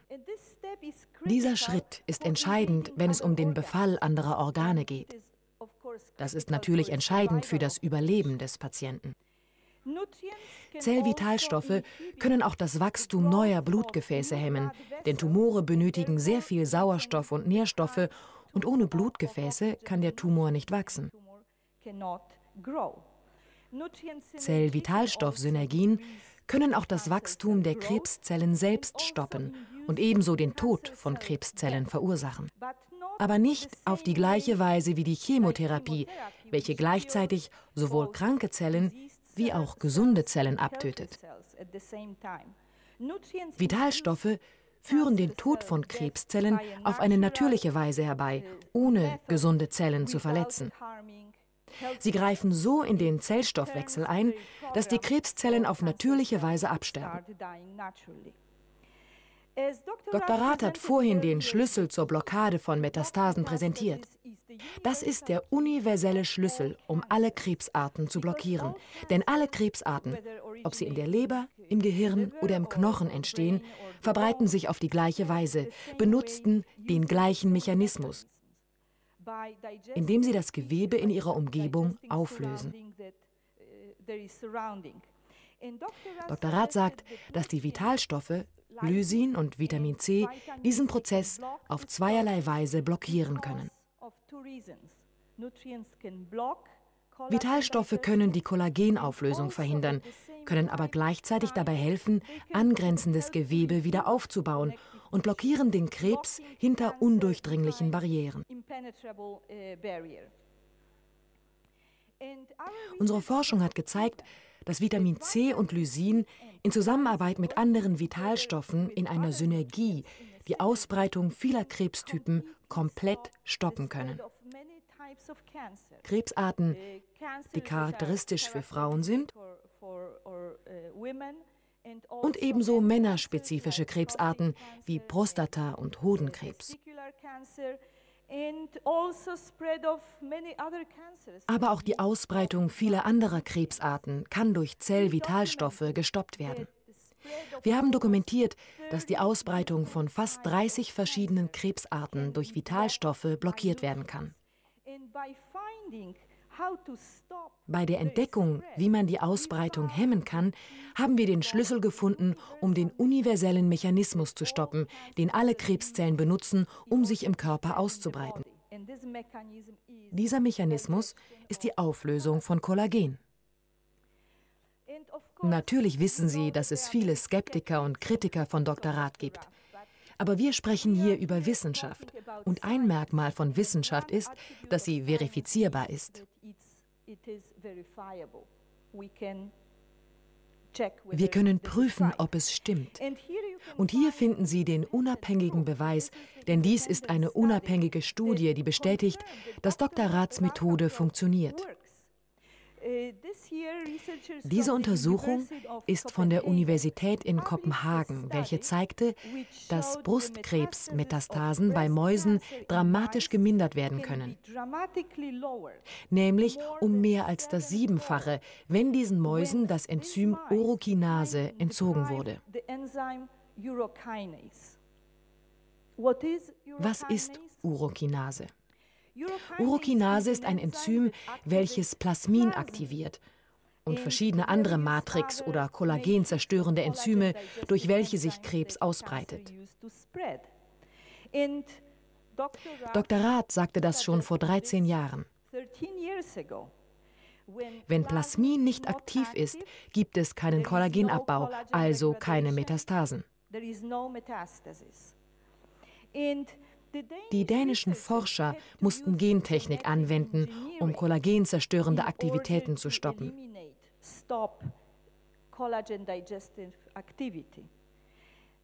Wir erreichen dies durch Zellvitalstoffsynergien. Zellvitalstoffsynergien sind sogar noch wirksamer, weil sie Krebs auf verschiedene Art und Weise stoppen. Sie stoppen nicht nur durch die Kollagenverdauung, sondern sie helfen auch, Kollagen wieder aufzubauen. Und außerdem können Vitalstoffsynergien die Multiplikation von Krebszellen hemmen. Es ist interessant, dass in der dänischen Studie die inaktiven Plasmine die Tumorgröße und das Wachstum nicht verringert haben. Aber schauen Sie, Zellvitalstoffsynergien können das bewirken. Sie können sehen, dass sich mit Zellvitalstoffsynergien die Tumorgröße um 30 bis zu 80 Prozent verringern kann.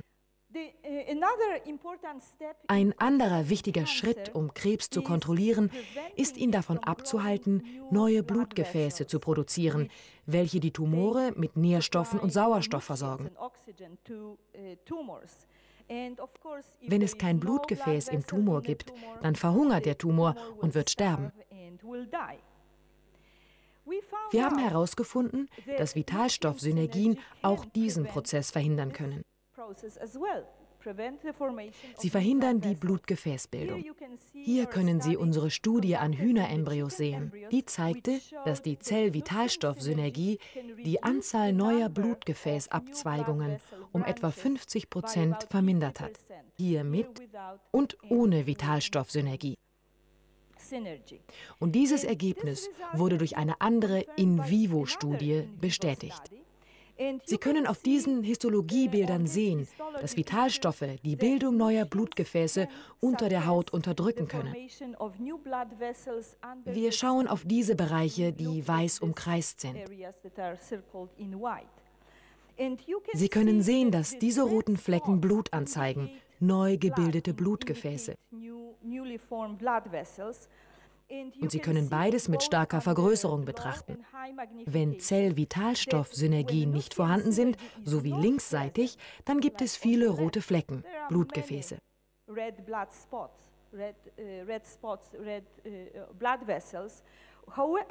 Wenn die Ernährung Vitalstoffe enthält, können sich keine Blutgefäße bilden und Sie können diese vielen roten Flecken nicht sehen.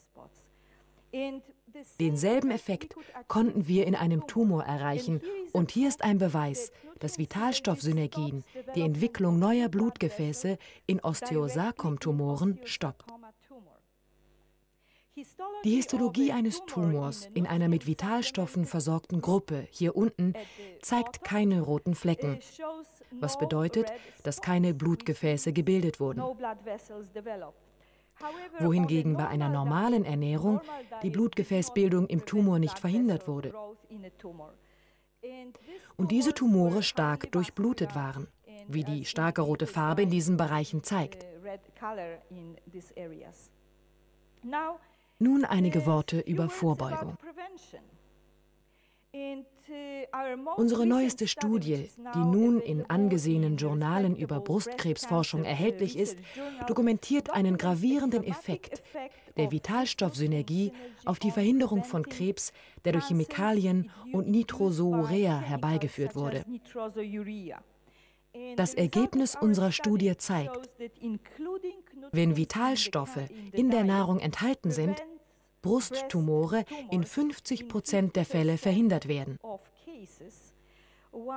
Während neun von zehn Tieren, die normale Nahrung gegessen haben, Tumore entwickelten. Sogar noch deutlicher. In mit Zellvitalstoffen versorgten Gruppen hatte nur ein von zehn einen großen Tumor. Aber noch wichtiger, während alle Tumore in Tieren mit normaler Nahrung bösartig waren, es also Krebs war, war kein Tier der anderen Gruppe an Krebs erkrankt.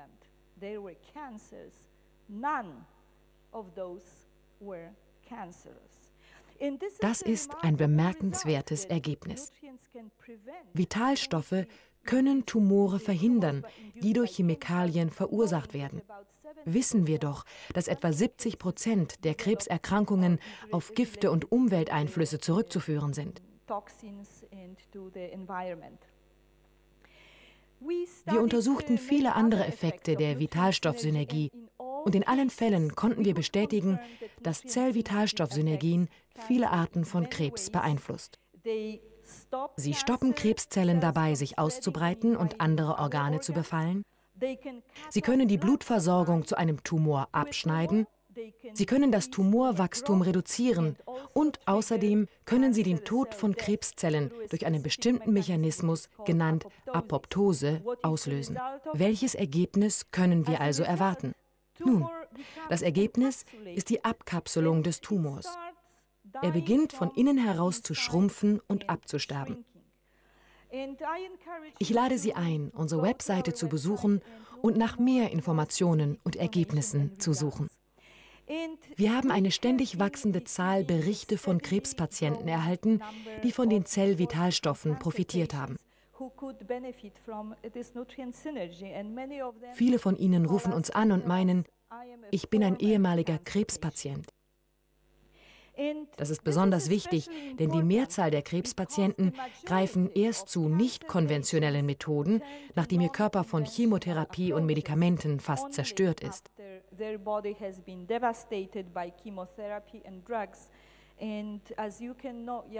Wie Sie wissen, kann die schwere Zellzerstörung in vielen Fällen nicht rückgängig gemacht werden. Deswegen spricht der Erfolg der Zellularmedizin für sich. Ich möchte Sie ermutigen, anderen mitzuteilen, was Sie heute gelernt haben. Und sprechen Sie auch über die Hoffnung, die Zellularmedizin für Millionen von Menschen und Patienten mit sich bringt. Die Zellularmedizin ist die Zukunft unserer Gesundheit. Uh, ich beende nun meine Präsentation mit dem folgenden Kommentar, der diesen Monat am 8. März auf der Webseite für natürliche Gesundheit zu lesen war in Bezug auf Dr. Rath. Und hier habe ich einen Text für Sie in Englisch. Ich stimme absolut mit Dr. Raths Philosophie überein, er ist ein hervorragender Wissenschaftler, er ist ein medizinischer Fachmann. Er nimmt sich die Freiheit zu sagen, was er über Medizin denkt. Wenn mehr Leute genauso sprechen würden, könnten wir vielleicht tatsächlich eine bedeutende Änderung in unserem medizinischen System erreichen. Wir sind hier, um für die Zellularmedizin zu sprechen und für die Zukunft unserer Gesundheit. Danke für Ihre Aufmerksamkeit. Thank you, Alexandra. Wir kommen zum letzten Teil, ein wichtiger Teil, weil es darum geht, die Perspektiven aufzuzeigen. Diese Woche ist eine wichtige Woche im politischen Berlin. Eine Woche, wo Millionen Menschen Hoffnung gesetzt haben. Was sie erhalten haben, war alles andere. Ein Jobgipfel, der verkündet, dass die Gewinnsteuer der Aktiengesellschaften vermindert wird, als Kernelement, macht sich von vornherein unglaubwürdig. Denn noch niemals wurde die Steuererleichterung für Aktiengesellschaften zur Schaffung von mehr Arbeitsplätzen genutzt In der Regel wird sie genau zum Gegenteil benutzt. Zur weiteren Rationalisierung, Kostenabbau und zur Verschärfung der Massenarbeitslosigkeit. Wenn wir diese Probleme sehen, Massenarbeitslosigkeit, explosierende Gesundheitskosten, steigende Lohnnebenkosten, die den Unternehmen das Überleben im Wirtschaftsstandort Deutschland unmöglich machen, eine drohende Rezession, Staatsverschuldung, die nicht mehr in den Griff zu kriegen ist, und wir sind nicht klug genug, die richtige Analyse zu treffen, was dafür verantwortlich ist, dann setzen wir uns den Verdacht auf, dass wir es gar nicht wollen. Dass wir die Ursachen für diese Probleme gar nicht benennen wollen. Und deswegen wird mein Vortrag heute enden mit diesem Element, einer ganz klaren Analyse wie diese Probleme beseitigt werden können. Die Beendigung des Betrugsgeschäfts mit der Krankheit ist der einzige Weg, die großen sozialen, wirtschaftlichen und politischen Probleme unserer Zeit zu lösen, zu beenden. Es ist jetzt sieben Jahre her, etwas mehr. Da hielt ich einen Vortrag gar nicht weit von hier in Chemnitz.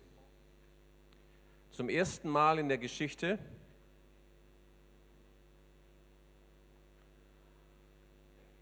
wurde das Problem benannt. Es ist die Pharmaindustrie selbst, also jener, jener Bereich, jener Industriezweig in unserer Gesellschaft, der sich quasi das Monopol aneignete für den Bereich Gesundheit, der zum größten Problem dafür geworden ist, dass es keine Gesundheit gibt, sondern immer mehr Krankheit. Sie müssen sich das vorstellen. Bis dahin haben die Burschen 100 Jahre lang ihr Betrugsgeschäft betrieben. Sie haben den Menschen die wahre Gesundheit angeboten, die haben auch dafür bezahlt, sie alle, wir alle. Aber was geliefert wurde, war immer mehr Krankheit. Und keiner hat es gemerkt.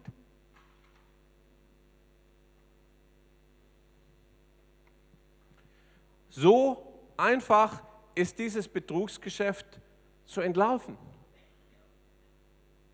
Sie versprechen ihnen in vierfarbigen Anzeigen und jeden Abend im Fernsehen, wir sind da, dass es mal keine Krankheiten gibt, aber tatsächlich investieren sie die erwirtschafteten Gewinne in die Fortsetzung und die Ausweitung von Krankheiten. Deswegen war diese Rede auch so brisant, weil ein Betrugsgeschäft, was auf so hölzernen Beinen steht, das gleicht einem Kartenhaus, und man muss nur zeigen, dass es ein Kartenhaus ist, schon, schon fällt es zusammen. Die Tatsache, dass kurz danach Lipobai kam, Celebrex und wie sie alle heißen, kein Pharmapräparat inzwischen mehr, was nicht auf der Anklage, Anklagebank sitzt, ist kein Zufall. Es ist alles darauf zurückzuführen, dass dieser Kerngedanke einmal formuliert wurde und inzwischen weltweit bekannt ist. Ich möchte diese Analyse, die so einfach und logisch ist, Ihnen mitgeben, damit Sie es nie wieder vergessen. Damit es zur Grundlage dafür wird, dass sich was ändert. Es gibt Gesetzmäßigkeiten dieses Betrugssystems die sich in ganz kurzen, prägnanten Punkten zusammenfassen lassen. Erstens, die Pharmaindustrie ist keine Gesundheitsindustrie, sondern eine Investmentbranche. Ihr Geschäftszweck ist nicht die Gesundheit von Millionen Menschen, sondern die Rendite einer Handvoll Pharmaaktionäre. Zweitens, die Spekulationsobjekte der Pharma-Investmentbranche und die Grundlage für ihre Milliardengewinne sind patentierbare Pharmapräparate, nicht deren medizinischer Nutzen. Je höher die vom Pharmakonzern willkürlich festgelegte Patentlizenz eines Präparates, umso höher der Profit und umso einträglicher die Rendite der Investoren.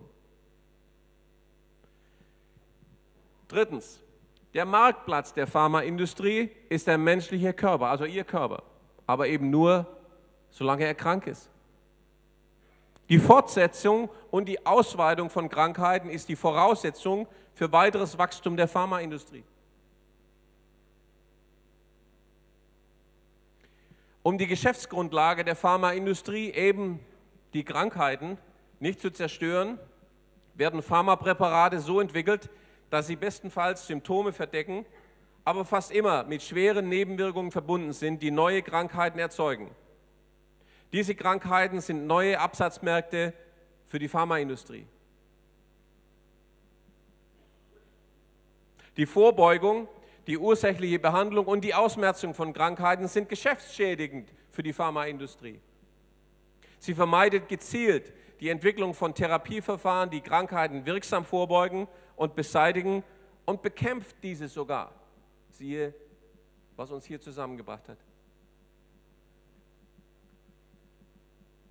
Vitamine und andere wirksame, aber nicht patentierbare Naturheilverfahren, die Krankheiten effektiv vorbeugen und beseitigen, bedrohen die Pharmaindustrie in doppelter Weise. Sie vernichten die Gewinnspanne durch den Wegfall der Patentgebühren, aber noch viel schlimmer. Sie beseitigen die Krankheiten als Geschäftsgrundlage, weil sie diese lebenswichtige Bedeutung im Zellstoffwechsel haben. Das Pharmageschäft mit der Krankheit und die Anwendung wirksamer Naturheilverfahren sind prinzipiell unvereinbar. Jedes Gesundheitswesen muss sich entscheiden zwischen der Ausweitung von Krankheiten als Pharma-Wachstumsmärkte oder der Krankheitsvorbeugung und Beseitigung durch effektive Naturheilverfahren. Diese Alternativen schließen sich gegenseitig aus. Ich will Ihnen das nochmal verdeutlichen. Ich werde öfter gefragt, wenn Sie recht hätten, Dr. Rath, wenn das stimmen würde, dann würden die Pharmaunternehmen doch auf Sie zukommen und würden das übernehmen und produzieren. Dann sage ich, Sie denken nicht zu Ende. Wenn die Firma Bayer das erste Multivitaminpräparat zur Bekämpfung der Herz-Kreislauf-Erkrankungen erfolgreich getestet hat, gehen ihnen die Milliardenmärkte für Beta-Blocker, für Calcium-Antagonisten, für Cholesterinsenker verloren. Für immer. Nicht nur für ein Jahr. Die können gar nicht, weil ihr Geschäftsmodell, die Grundlage für diesen Industriezweig nicht die Beseitigung der Krankheiten ist, sondern die Voraussetzung für dieses Geschäft. Verstehen Sie diesen Gedanken? Und deswegen, wenn man diesen Gedanken so klar analysiert hat, dann, dann ist es auch logisch, eine Schlussfolgerung zu formulieren. Die Vorbeugung, die Heilung und die Beseitigung von Krankheiten steht privatwirtschaftlichen Gewinninteressen der Pharmaindustrie direkt entgegen. Diese Ziele lassen sich nur in einem Gesundheitswesen realisieren, das unter öffentlicher Kontrolle steht. Jetzt sagen einige, was meint er denn damit? Öffentliche Kontrolle, Gesundheitswesen? Das ist ja umstürzlerisch. Ich kann Sie beruhigen, wenn Sie mal nachdenken, welche anderen lebenswichtigen Bereiche gibt es denn noch? Es gibt zum Beispiel den Bereich der Schulen, der Ausbildung. Ja, ganz selbstverständlich ist der Staat dafür verantwortlich. Der Bereich der Sicherheit. Ja, ganz selbstverständlich ist der Staat dafür verantwortlich. Selbst Verkehr, Bundesbahn, Post, waren lange Jahre Monopole. Aber Gesundheit? Haben wir da was verpasst? Wie kann es sein, dass der wichtigste Bereich unseres Lebens überhaupt abgeglitten ist in diese Interessenslage? Dass niemand aufgewacht ist und sagt, das kann doch nicht sein, das müssen wir doch selbst in die Hand nehmen.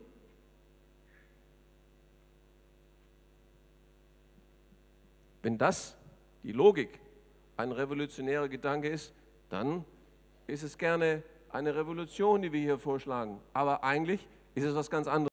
Es ist gesunder Menschenverstand.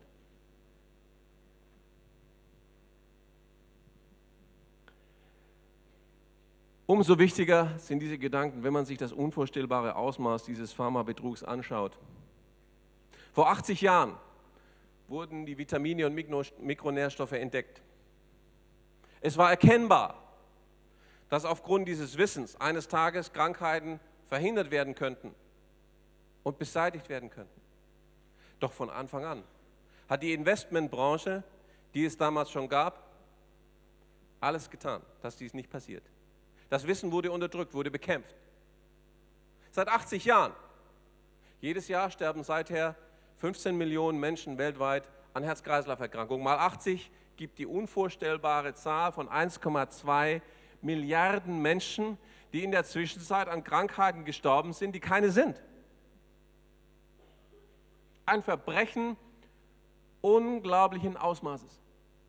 Mehr als alle Kriege der Menschheit zusammengenommen hat die Pharmaindustrie auf dem Gewissen. Und ich sage das ungestraft, weil ich es beweisen kann. Dasselbe bei der Krebskrankheit. Auch da war erkennbar, dass die Entdeckungen, die vor 80 Jahren gemacht wurden, irgendwann mal zur Beseitigung der Krebskrankheit führen würden. Unterdrückt, Forschung eingestellt. Diejenigen, die es wagten, wurden bekämpft. Jedes Jahr sterben vier Millionen Menschen weltweit an Krebs. Mal 80, 320 Millionen Menschen.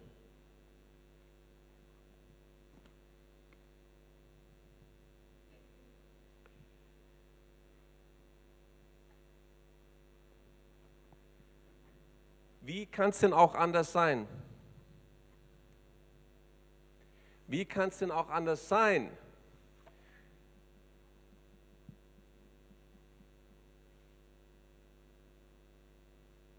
Wenn wir eine Industrie unter uns dulden, deren Geschäftszweck die Ausweitung von Krankheiten ist, dass wir immer mehr dafür bezahlen müssen. Im Laufe der vergangenen 100 Jahre brachte das weltweite milliardenschwere Betrugsgeschäft der Pharmaindustrie fast alle Staaten der Erde an den wirtschaftlichen Ruin.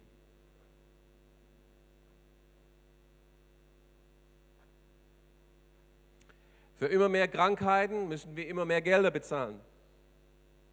Schlimmer noch, das den Menschen so abgepresste Geld wird von den skrupellosen Pharmageschäftemachern dazu verwandt,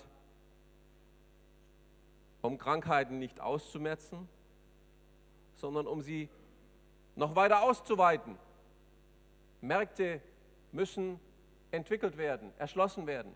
Und wenn das nicht ausreicht, dann erfindet man neue Krankheiten, wie es ein Spiegelbuch inzwischen zum Titel hat. Man braucht kein Diplom in Volkswirtschaft zu haben, um sofort zu erkennen, dass diese Pharmaspirale die Hauptursache für die großen sozialen, wirtschaftlichen und politischen Probleme unserer Zeit sind. Jedes Jahr müssen die Menschen in Deutschland über 300 Milliarden Euro an Krankheitskosten bezahlen, überwiegend für Krankheiten, die längst der Vergangenheit angehören könnten. Solange wir das skrupellose Geschäft mit der Krankheit durch die Pharmaindustrie unter uns dulden, wird die Massenarbeitslosigkeit zunehmen werden die Krankheitskosten explodieren, die Lohnnebenkosten werden steigen, der Wirtschaftsstandort Deutschland wird gefährdet. Kurzum, eine wirtschaftliche Rezession mit den einhergehenden politischen Krisen ist durch das fortgesetzte Pharmageschäft mit der Krankheit geradezu einkalkuliert.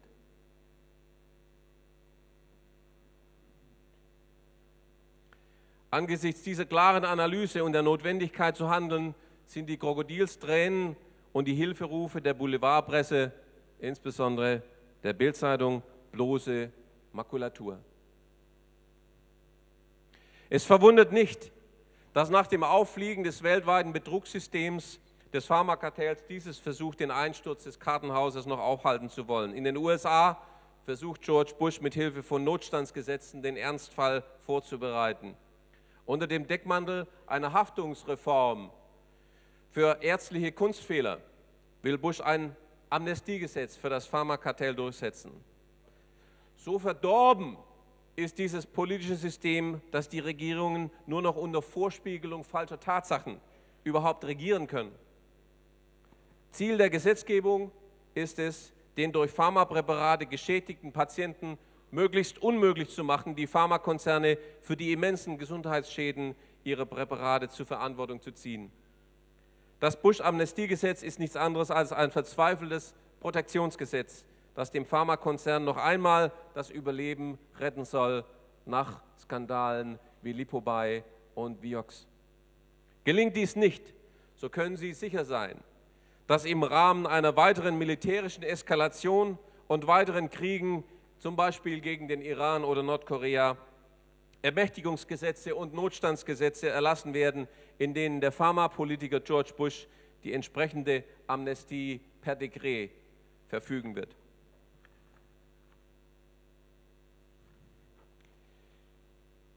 In Südafrika finanziert das Pharmakartell eine eigene Sturmabteilung die in den Straßen dieses Entwicklungslandes randalieren und von der dortigen Regierung verlangen, die höchst fragwürdigen AIDS-Medikamente an die Bevölkerung zu verteilen. Das Pharmakartell investiert zig Millionen zur Destabilisierung der südafrikanischen Regierung, weil diese auf dem Standpunkt steht, dass natürliche Gesundheit und die natürliche Stärkung des Immunsystems durch Vitamine und Mikronährstoffe die wichtigste Voraussetzung für den Kampf gegen die Immunschwäche AIDS und andere Krankheiten sind mit denselben Methoden, wie die SA in Deutschland der 30er Jahre die Weimarer Republik destabilisierte, versucht das Pharmakartell auf die südafrikanische Regierung Druck auszuüben. Die Demonstration der sogenannten Treatment Action Campaign oder TAC werden regelrecht angestiftet, indem man den hungernden Kindern und den Jugendlichen aus den armen Vorstädten ein T-Shirt und ein Sandwich gibt sie ins Stadtzentrum karrt, damit sie dort gegen die Regierung demonstrieren. Der Anführer, ein gewisser Saki Ahmed, hier links, ist ein ehemaliger Prostituierter. Auch hier ist die Parallele zu der SA der 30er Jahre zwingend. SA-Chef Röhm kam aus demselben Milieu und kaufte sich seine Schlägertruppe regelrecht aus diesem Milieu zusammen. Damals mit Geld des Chemie- und Pharma-Imperiums IG Farben, ein Zusammenschluss aus Bayer, Höchst und BASF. Deren politisches Ziel damals war genau dasselbe, die Destabilisierung der Weimarer Republik und die Errichtung einer Diktatur, um ihre Wirtschaftsinteressen weltweit durchsetzen zu können. Und weil diese Zusammenhänge in Südafrika, in, bei uns hier in Deutschland nicht bekannt sind, stiftet sogar die evangelische Kirche über Brot für die Welt jedes Jahr Hunderttausende Euro an den TAC, weil ihr weiß gemacht wurde, dass es um die Hilfe für AIDS-Patienten geht. Diese Verschwendung des Geldes gutgläubiger Spender muss rasch aufhören. Tony Blair hat inzwischen einen sogenannten Marshallplan für Afrika ins Leben gerufen. Haben Sie vielleicht davon gehört? Schuldenerlass für die Armen, aber eben nur für die Länder, die dem Pharmakartell die Stange halten werden. Der britische Pharmagigant GlaxoSmithKline stellt das AIDS-Medikament ACT her. Ich will Ihnen das erklären. ACT greift in die Erbsubstanz der Zellen ein und vermindert und verhindert deren Vermehrung. Die sich am schnellsten vermehrenden Zellen im menschlichen Körper sind die Immunzellen. Wenn Sie ACT nehmen, sinkt Ihre Immunabwehr und Sie erreichen was? Eine Verschärfung der Immunschwäche. Kommt Ihnen das bekannt vor? Sie haben Krebs, Sie bekommen Chemotherapie, die mehr Krebs erzeugt, weil neue Märkte kommen müssen. Sie haben die Immunschwäche AIDS, Sie bekommen ACT, um noch immunschwächer zu sein, um neue Märkte zu erzeugen. Wie lange? Wie lange nehmen wir als intelligente Menschen dieses Betrugssystem noch sehen. Warum will Tony Blair den G8-Ländern und der Europäischen Union ein 300 Milliarden Euro Paket abbringen, angeblich um Afrika zu helfen. Ganz einfach. Sprechen Sie die sich die Alternativen herum, dass die AIDS, Immunschwäche und andere äh, Infektionskrankheiten mit Hilfe einer Immunstärkung über Vitamine und Zellvitalstoffe viel besser in den Griff kommen können, ist das Pharmakartellgeschäft in den Entwicklungsländern tot. Sprechen sich diese Alternativen herum, befreit sich ein Entwicklungsland nach dem anderen aus der Abhängigkeit des Pharmakartells. Blairs Marshallplan soll diesen Dominoeffekt in letzter Minute noch verhindern. Verkauft wird es ihnen als die Mutter Teresa aus London. Aber all dieses Geld des Pharmakartells wird nichts nützen. Dies ist Marietta. Sie war so schwer an AIDS erkrankt, dass sie nicht mehr zur Arbeit gehen konnte. Nach zwei Wochen intensiver Nahrungsergänzung mit Hilfe von Zellvitalstoffen war sie wieder so weit gesundet, dass sie ein normales Leben führen konnte, zurück zur Arbeit. Inzwischen führt sie das normale Leben einer jungen Südafrikanerin. Der Siegeszug der Zellularmedizin auch gegen die AIDS-Krankheit und andere Probleme in Entwicklungsländern ist nicht mehr aufzuhalten. In Europa versucht das Pharmakartell den Einsturz seines Kartenhauses dadurch zu verhindern, indem es über die Europäische Kommission europaweite Protektionsgesetze erlassen will. Diese EU-Direktiven haben das Ziel für 380 Millionen Europäer, auch für die Millionen, zwei Millionen in Berlin, die wissenschaftlich begründeten Naturheilverfahren als ernste Konkurrenz für das skrupellose Pharmageschäft mit der Krankheit per Gesetz auszuschalten. Um dies zu verhindern, haben wir ein EU-Referendum gestartet. Lutz hat es schon eingangs erklärt, mit dem Ziel, auf Grundlage der neuen europäischen Verfassung eine europaweite Petition einzubringen für den uneingeschränkten Zugang zu diesen lebenswichtigen Gesundheitsinformationen und Naturheilverfahren in ganz Europa. In dieser Situation haben wir, die Menschen in Deutschland, eine besondere Verantwortung dafür zu sorgen, dass dieses skrupellose Geschäft beendet wird. Wir haben eine Verantwortung, weil unser Land jahrzehntelang Architekt dieses Industriezweiges und Mittäter war.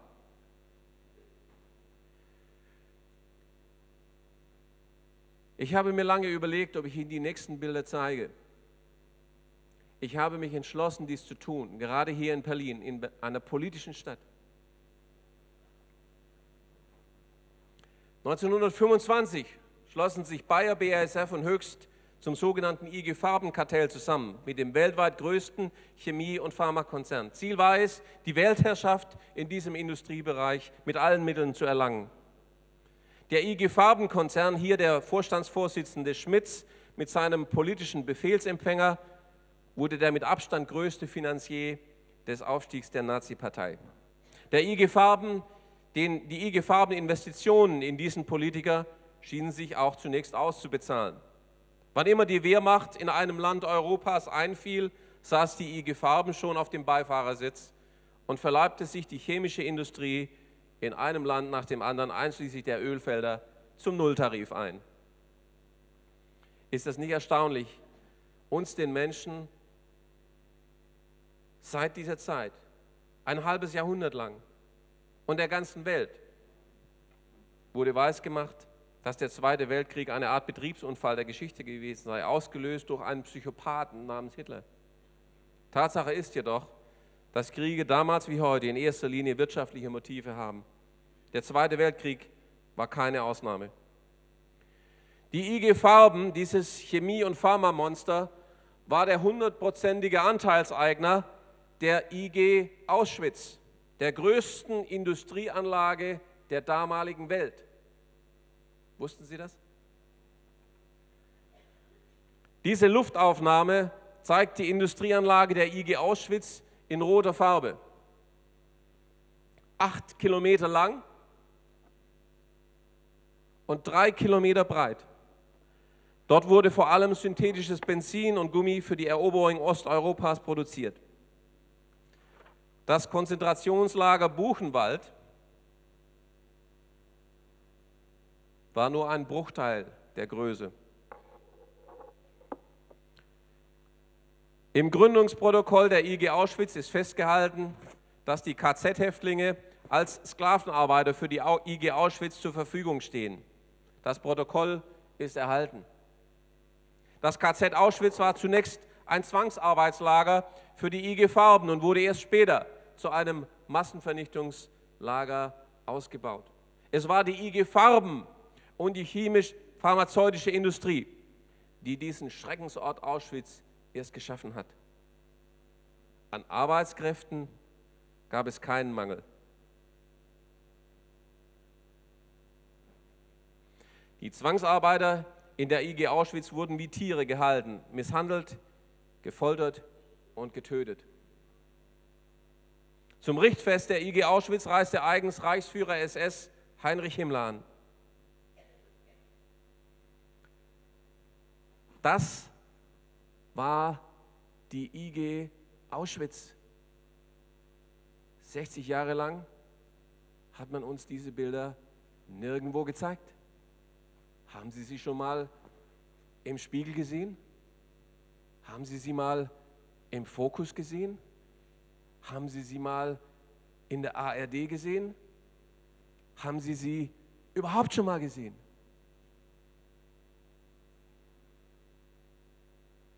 Sechzig Jahre Verschweigen über die wahren Ursachen des Zweiten Weltkrieges und seiner schlimmsten Auswüchse. Wenn Sie die Gelegenheit haben, nach Auschwitz zu fahren, fahren Sie nicht nur ins Konzentrationslager, machen sich die Mühe, die sieben Kilometer entfernte Industrieanlage zu besichtigen. Man sieht heute noch das Ausmaß dieses Komplexes. Damit nicht genug. Wir sprachen über Chemie und Pharma. Auschwitz, Dachau, Ravensbrück stehen für die Experimente an Menschen. Wieso machen Menschen Experimente an anderen Menschen? Weil sie Lust dazu haben, wie man uns einbläuen will? Weil das Sadisten waren? Die haben Geld dafür bekommen. Das waren Auftragsarbeiten für Sulfonamidversuche. KZ-Experimente an Menschen im Interesse des Pharmakartells. Eine Medizin ohne Menschlichkeit, die selbst vor Kindern nicht Halt macht. Wer es nicht glaubt, hier aus den offiziellen Dokumenten des Nürnberger Prozesses, das Präparat BE 1034, eine kodierte, weil patentgeschützte Substanz. Können Sie den Hersteller lesen da oben? Wenn nicht, ich lese es Ihnen vor. Bayer, IG Farbenindustrie, Aktiengesellschaft Leverkusen. Die wahren Kosten der Patentmedizin. 24 IG Farbenmanager wurden 1947 in Nürnberg wegen Kriegsverbrechen verurteilt. Sklavenarbeit, Massenmord. Darunter Herr Schmitz, den Sie vorhin bei einem berühmten Händedruck sahen. Doch nach sieben Jahren war der letzte von denen schon wieder frei.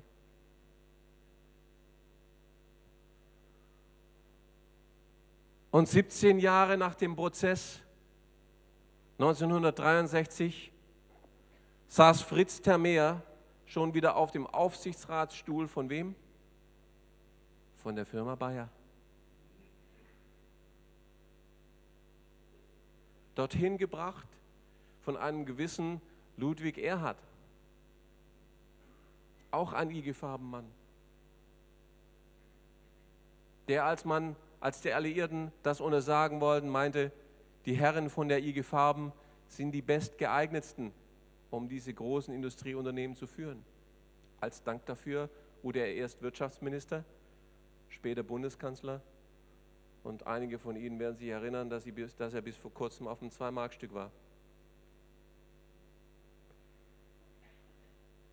Der US-Chefankläger, der Telford Taylor, sagte, ohne die IG Farben wäre der Zweite Weltkrieg nicht möglich gewesen.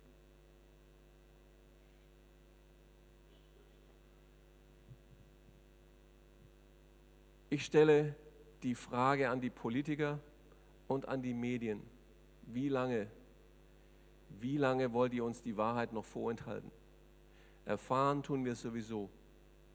Im Januar bei den Befreiungsfeiern zum 60. Jahrestag der Befreiung des Konzentrationslager Auschwitz waren 45 Staatsoberhäupter in Auschwitz. Allesamt waren sie in Buchenwald. Ich kann das verstehen. Dort war die Endstation. Dort war das Krematorium. Aber der Anfang war sieben Kilometer weiter weg. Und kein Wort davon in den ganzen Analysen. In den nächsten Wochen, in den nächsten Monaten werden Sie immer wieder an die 60 Jahre erinnert werden. Ich möchte, dass Sie diese Bilder behalten. Ich sage Ihnen, nur wer bereit ist, aus der Geschichte zu lernen, dem wird es erspart bleiben, sie nochmal durchleben zu müssen. Wir selbst müssen zu Architekten eines neuen Gesundheitswesens werden. Es nimmt uns niemand ab. Die Grundsätze eines neuen Gesundheitswesens sind ganz klar. Es geht um Ausmerzung statt bisher um Ausweitung von Krankheiten. Es geht um Ursachenbeseitigung statt um Symptombehandlung. Es geht um Patienten, um Menschen statt um Profite. Es geht um Verantwortung statt um Abhängigkeit. Es geht um Aufklärung statt um Unmündigkeit. Und niemand anders macht's, nur wir selbst. Der Schlüssel des neuen Gesundheitswesens ist Wissen und Ausbildung zu natürlicher Gesundheit. Das kann zu Hause stattfinden, indem Sie Bücher lesen. Das kann stattfinden, indem Sie nachher draußen im Foyer mit Menschen sprechen, die haben so ein kleines weißes Schildchen. Das sind Mitglieder unserer Gesundheitsallianz. Die haben Selbsterfahrung und sind bereit, Ihnen die weiterzugeben. Das kann auch gar nicht so weit von hier in dem Städtchen Wittenberg stattfinden. Dort haben wir gegenüber der Schlosskirche ein Haus erwerben können, wo wir eine Gesundheitsakademie draus gemacht haben. Und dort ist der Leitsatz, vor 500 Jahren ging von Wittenberg eine Bewegung aus, die dazu führte, dass Millionen Menschen in Europa und später in aller Welt das Lesen und Schreiben lernten. Diese Befreiung vom Analphabetentum beendete das Mittelalter und leitete die Neuzeit ein. Heute fördert die Gesundheitsakademie Wittenberg eine ähnliche Befreiung im Bereich der Gesundheit, damit Herzinfarkt, Krebs und andere Volkskrankheiten bald der Vergangenheit angehören werden. Wir müssen unser Grundrecht auf Leben und Gesundheit gegen das Pharmakartell buchstäblich verteidigen. Wenn Sie denken, die schenken es Ihnen, müssen Sie lange warten. Wir stehen bei unserer Arbeit, bei unserem Kampf um das Recht auf Gesundheit, stehen wir auf den Grundlagen des Grundgesetzes und der europäischen Verfassung, weil die Pharmaindustrie gegen beide verstößt. Artikel 2 des Grundgesetzes der Bundesrepublik Deutschland, jeder hat das Recht auf Leben und körperliche Unversehrtheit. Wieso entzieht man den Eltern eines krebskranken Kindes das medizinische Sorgerecht, wenn das das Grundgesetz ist? Artikel 2 der Europäischen Verfassung. Jeder Mensch hat das Recht auf Leben. Es geht weiter. Jeder Mensch hat das Recht auf körperliche und geistige Unversehrtheit. Und jetzt kommt's. Im Rahmen der Medizin bedeutet dies ein Verbot, den menschlichen Körper und Teile davon zur Erzielung von Gewinnen zu nutzen.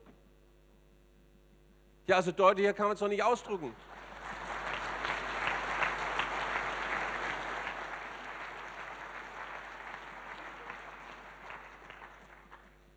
Gesundheit ist ein Menschenrecht. Ich werde meine Rede heute beenden mit einem Programm, was ich glaube, was zum Nachdenken anregen wird, auch zur Diskussion. Wenn Sie nachher rausgehen, nehmen Sie das mit, wir haben das auch ausgedruckt. Während die wichtigsten Bereiche des gesellschaftlichen Lebens unter öffentlicher Kontrolle stehen, ist der entscheidende Bereich jedes Gemeinwesens dieser Kontrolle entzogen. unsere Gesundheit.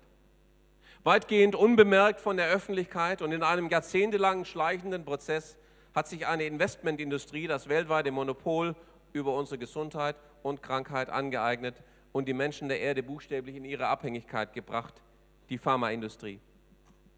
Geschäftsgrundlage dieses Industriezweiges sind der Fortbestand und die Ausweitung von Krankheiten als milliardenschwere Absatzmärkte für patentierte synthetische Pharmapräparate, die meist nur Symptome behandeln, aber fast immer mit schwerwiegenden Nebenwirkungen behaftet sind. Die Vorbeugung und Beseitigung von Krankheiten, vor allem durch wirksame Naturheilverfahren, gefährden die Existenz des Pharma-Investmentgeschäfts mit der Krankheit und werden deshalb bekämpft. Durch ihr Geschäft mit der Krankheit ist die Pharmaindustrie zu einer der größten Investitions- und Spekulationsbranchen der Erde geworden. Über seine milliardenschweren Gewinne brachte dieser Industriezweig allmählich das Gesundheitswesen fast aller Länder der Erde in seine Abhängigkeit und erkaufte sich Einfluss in gesellschaftlichen Schlüsselbereichen wie Medien, Sozialwesen und Politik. Dass diese Machtübernahme des Gesundheitssektors durch die Pharmaindustrie bisher nicht verhindert wurde, haben Millionen Menschen mit ihrem Leben und die Staaten dieser Erde mit dem drohenden ökonomischen Ruin ihrer Volkswirtschaften bezahlt. Die mit Abstand wichtigste politische und gesellschaftliche Entwicklung des beginnenden 21. Jahrhunderts ist die Entlarvung des Pharma-Investmentgeschäfts mit der Krankheit als größtes und als blutigstes Betrugsgeschäft der Menschheitsgeschichte. Die weltweite Verbreitung dieser Erkenntnis ist die Voraussetzung dafür, dass Gesundheit ein Menschenrecht wird. In dem verzweifelten Versuch, die finanziellen Verluste in Höhe von Tausenden Milliarden und die Verurteilung der Verantwortlichen durch nationale und internationale Gerichte doch noch verhindern zu können, greifen die Pharmafinanziers und ihre politischen Handlanger zu immer skrupelloseren Methoden.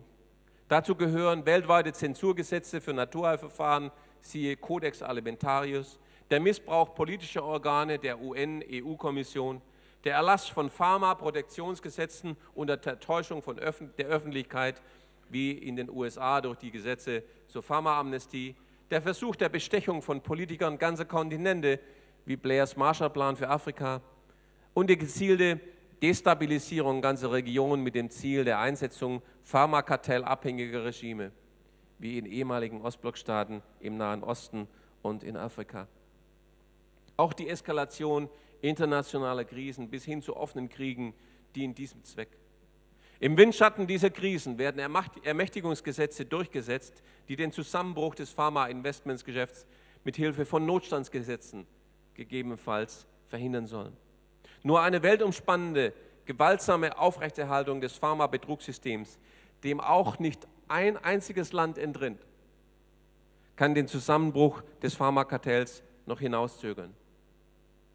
Nicht ein einziges Land darf den entrinnen, denn sonst setzt der Dominoeffekt ein.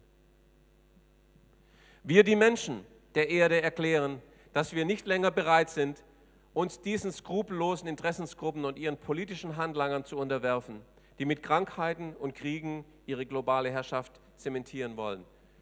Wir sind bereit, Verantwortung zu übernehmen für uns selbst und für alle nachfolgenden Generationen. Wir setzen uns mit aller Kraft dafür ein, dass die heutigen Volkskrankheiten beseitigt werden und damit dem Pharmageschäft mit der Krankheit der wirtschaftliche Boden entzogen wird.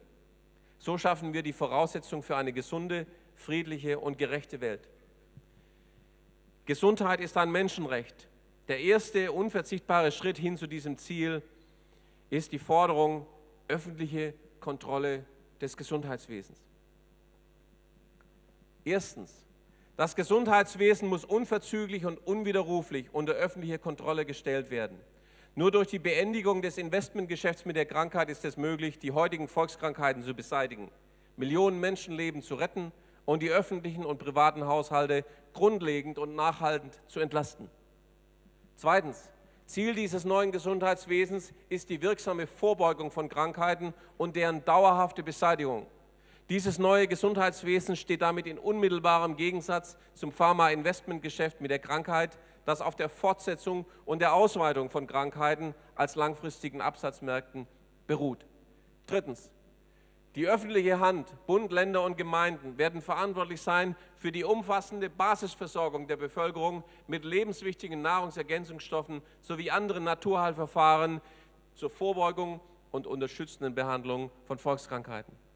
Auch die Versorgung der Bevölkerung mit den wenigen sinnvollen Pharmapräparaten wird schrittweise der öffentlichen Kontrolle unterstellt. Präparate ohne Nachweis einer vorbeugenden oder heilenden Wirkung kennzeichnend für die Mehrzahl aller Pharmapräparate, werden verboten. Die Schlüsselbereiche der Krankenversorgung, insbesondere die stationäre Versorgung vom Kreiskrankenhaus bis zur Universitätsklinik, werden unter öffentliche Kontrolle gestellt. Nur so ist sichergestellt, dass die Gesamtstrategie einer auf Vorbeugung und Ausmerzung von Krankheiten ausgerichteten Gesundheitsversorgung durch das Geschäft mit der Krankheit nicht sabotiert wird. Fünftens. Die Krankenkassen werden der öffentlichen Kontrolle unterstellt. Sie erstatten Kosten für Therapieverfahren, deren vorbeugender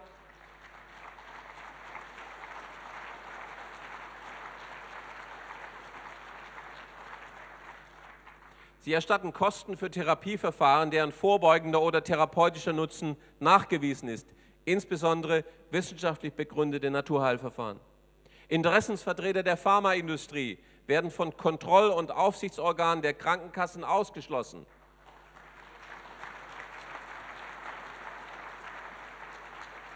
In diesen Organen haben durch die Versicherten selbst gewählte Patientenvertreter die Mehrheit, denn nur so, nur so ist gewährleistet, dass die Krankenkassenbeiträge nicht länger für die Finanzierung des Pharma-Investmentgeschäfts mit der Krankheit missbraucht werden.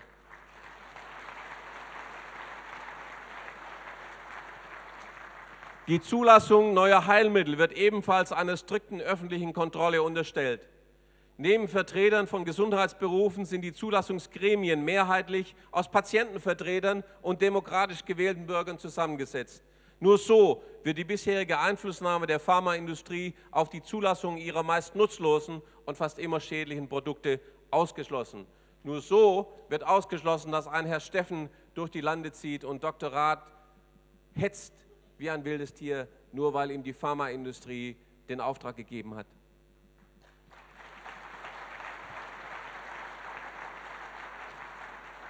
Siebtens, die medizinisch-wissenschaftliche Forschung wird einer öffentlichen Kontrolle unterstellt, die der Entwicklung wirksamer Heilmittel zur Vorbeugung und Ausmerzung von Krankheiten dient. Öffentliche Gelder werden ausschließlich für diese patientenorientierte Forschung an Hochschulen und anderen öffentlichen Einrichtungen verwendet. Eine Vergabe von Steuergeldern an die Pharmaindustrie findet nicht länger statt. Nur so ist sichergestellt, dass die bisherige Verschwendung von Steuermilliarden für Pharmaforschung unterbleibt, die Krankheiten nicht beseitigt, sondern deren Fortbestand als Geschäftsgrundlage sichert. Achtens. Die Ausbildung von Ärzten und aller anderen Gesundheitsberufe findet unter öffentlicher Kontrolle statt. Die bisherige Praxis, dass sogenannte Drittmittel aus der Pharmaindustrie Voraussetzung für die Professur an einer medizinischen Fakultät sind, wird sofort eingestellt. Ausschließliche Kriterien für die Berufung der Lehrenden in allen Gesundheitsberufen ist ihre berufliche Qualifikation, nicht die finanzielle Abhängigkeit von Pharmakonzernen. Nur so kann der verheerende kommerzielle Einfluss beendet werden, den die Pharmaindustrie jahrzehntelang auf die Arztausbildung und die Ausbildungsgänge für andere Gesundheitsberufe ausgeübt hat.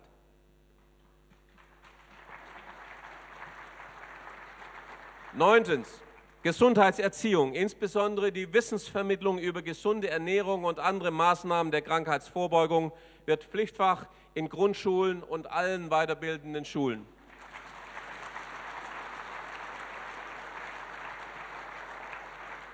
Bereits im Kindergarten lernen die Kinder, dass der menschliche Körper kein Vitamin C produzieren kann und lebenslang auf eine optimale Versorgung durch Mikronährstoffe angewiesen ist.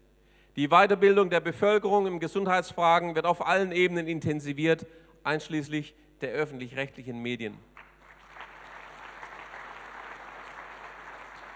Und schließlich zehntens, um das Wissen über die Gesundheitsbedeutung von Zellvitalstoffen und anderen Naturheilverfahren rasch zu verbreiten, und eine bevölkerungsnahe gesundheitliche Basisversorgung zu gewährleisten, werden neue Gesundheitsberufe staatlich anerkannt. Hierzu gehören Berufe wie Ernährungsberater oder Berater für Zellularmedizin mit dem Schwerpunkt Gesundheitsberatung und Prävention. Damit, damit wird das Monopol einer auf Pharma- und Hightech-Behandlung orientierten Medizin gebrochen.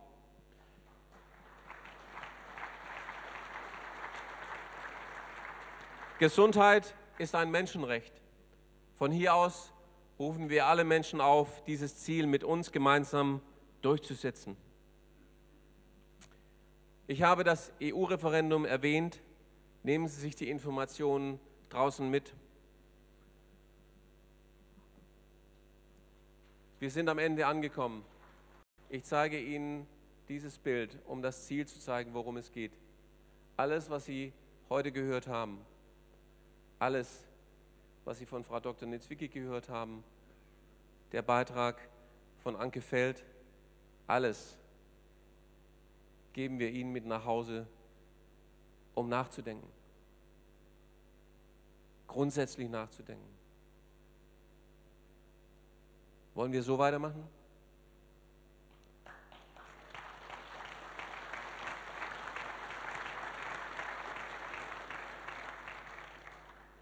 Wollen wir uns weitere Jahrzehnte für dumm verkaufen lassen, indem man uns die, noch nicht mal die geschichtliche Wahrheit unseres eigenen Landes erzählt, indem man uns auf Leib und Leben, auf Blut und Knochen aussaugt, uns ein X für ein U vormacht, nicht erzählt, dass die Haupttodesursachen, an denen unsere Nachbarn, Freunde und Familienmitglieder sterben, eigentlich verhinderbar sind.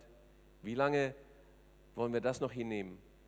Wenn Sie mit uns der Meinung sind, dass das so schnell wie möglich aufhören muss, dann, dann tun Sie was. Was Sie tun können, sprechen Sie mit den Menschen draußen im Foyer, schreiben Sie uns, finden Sie einen Weg. Aber dann, dann tun Sie was. Vielen Dank.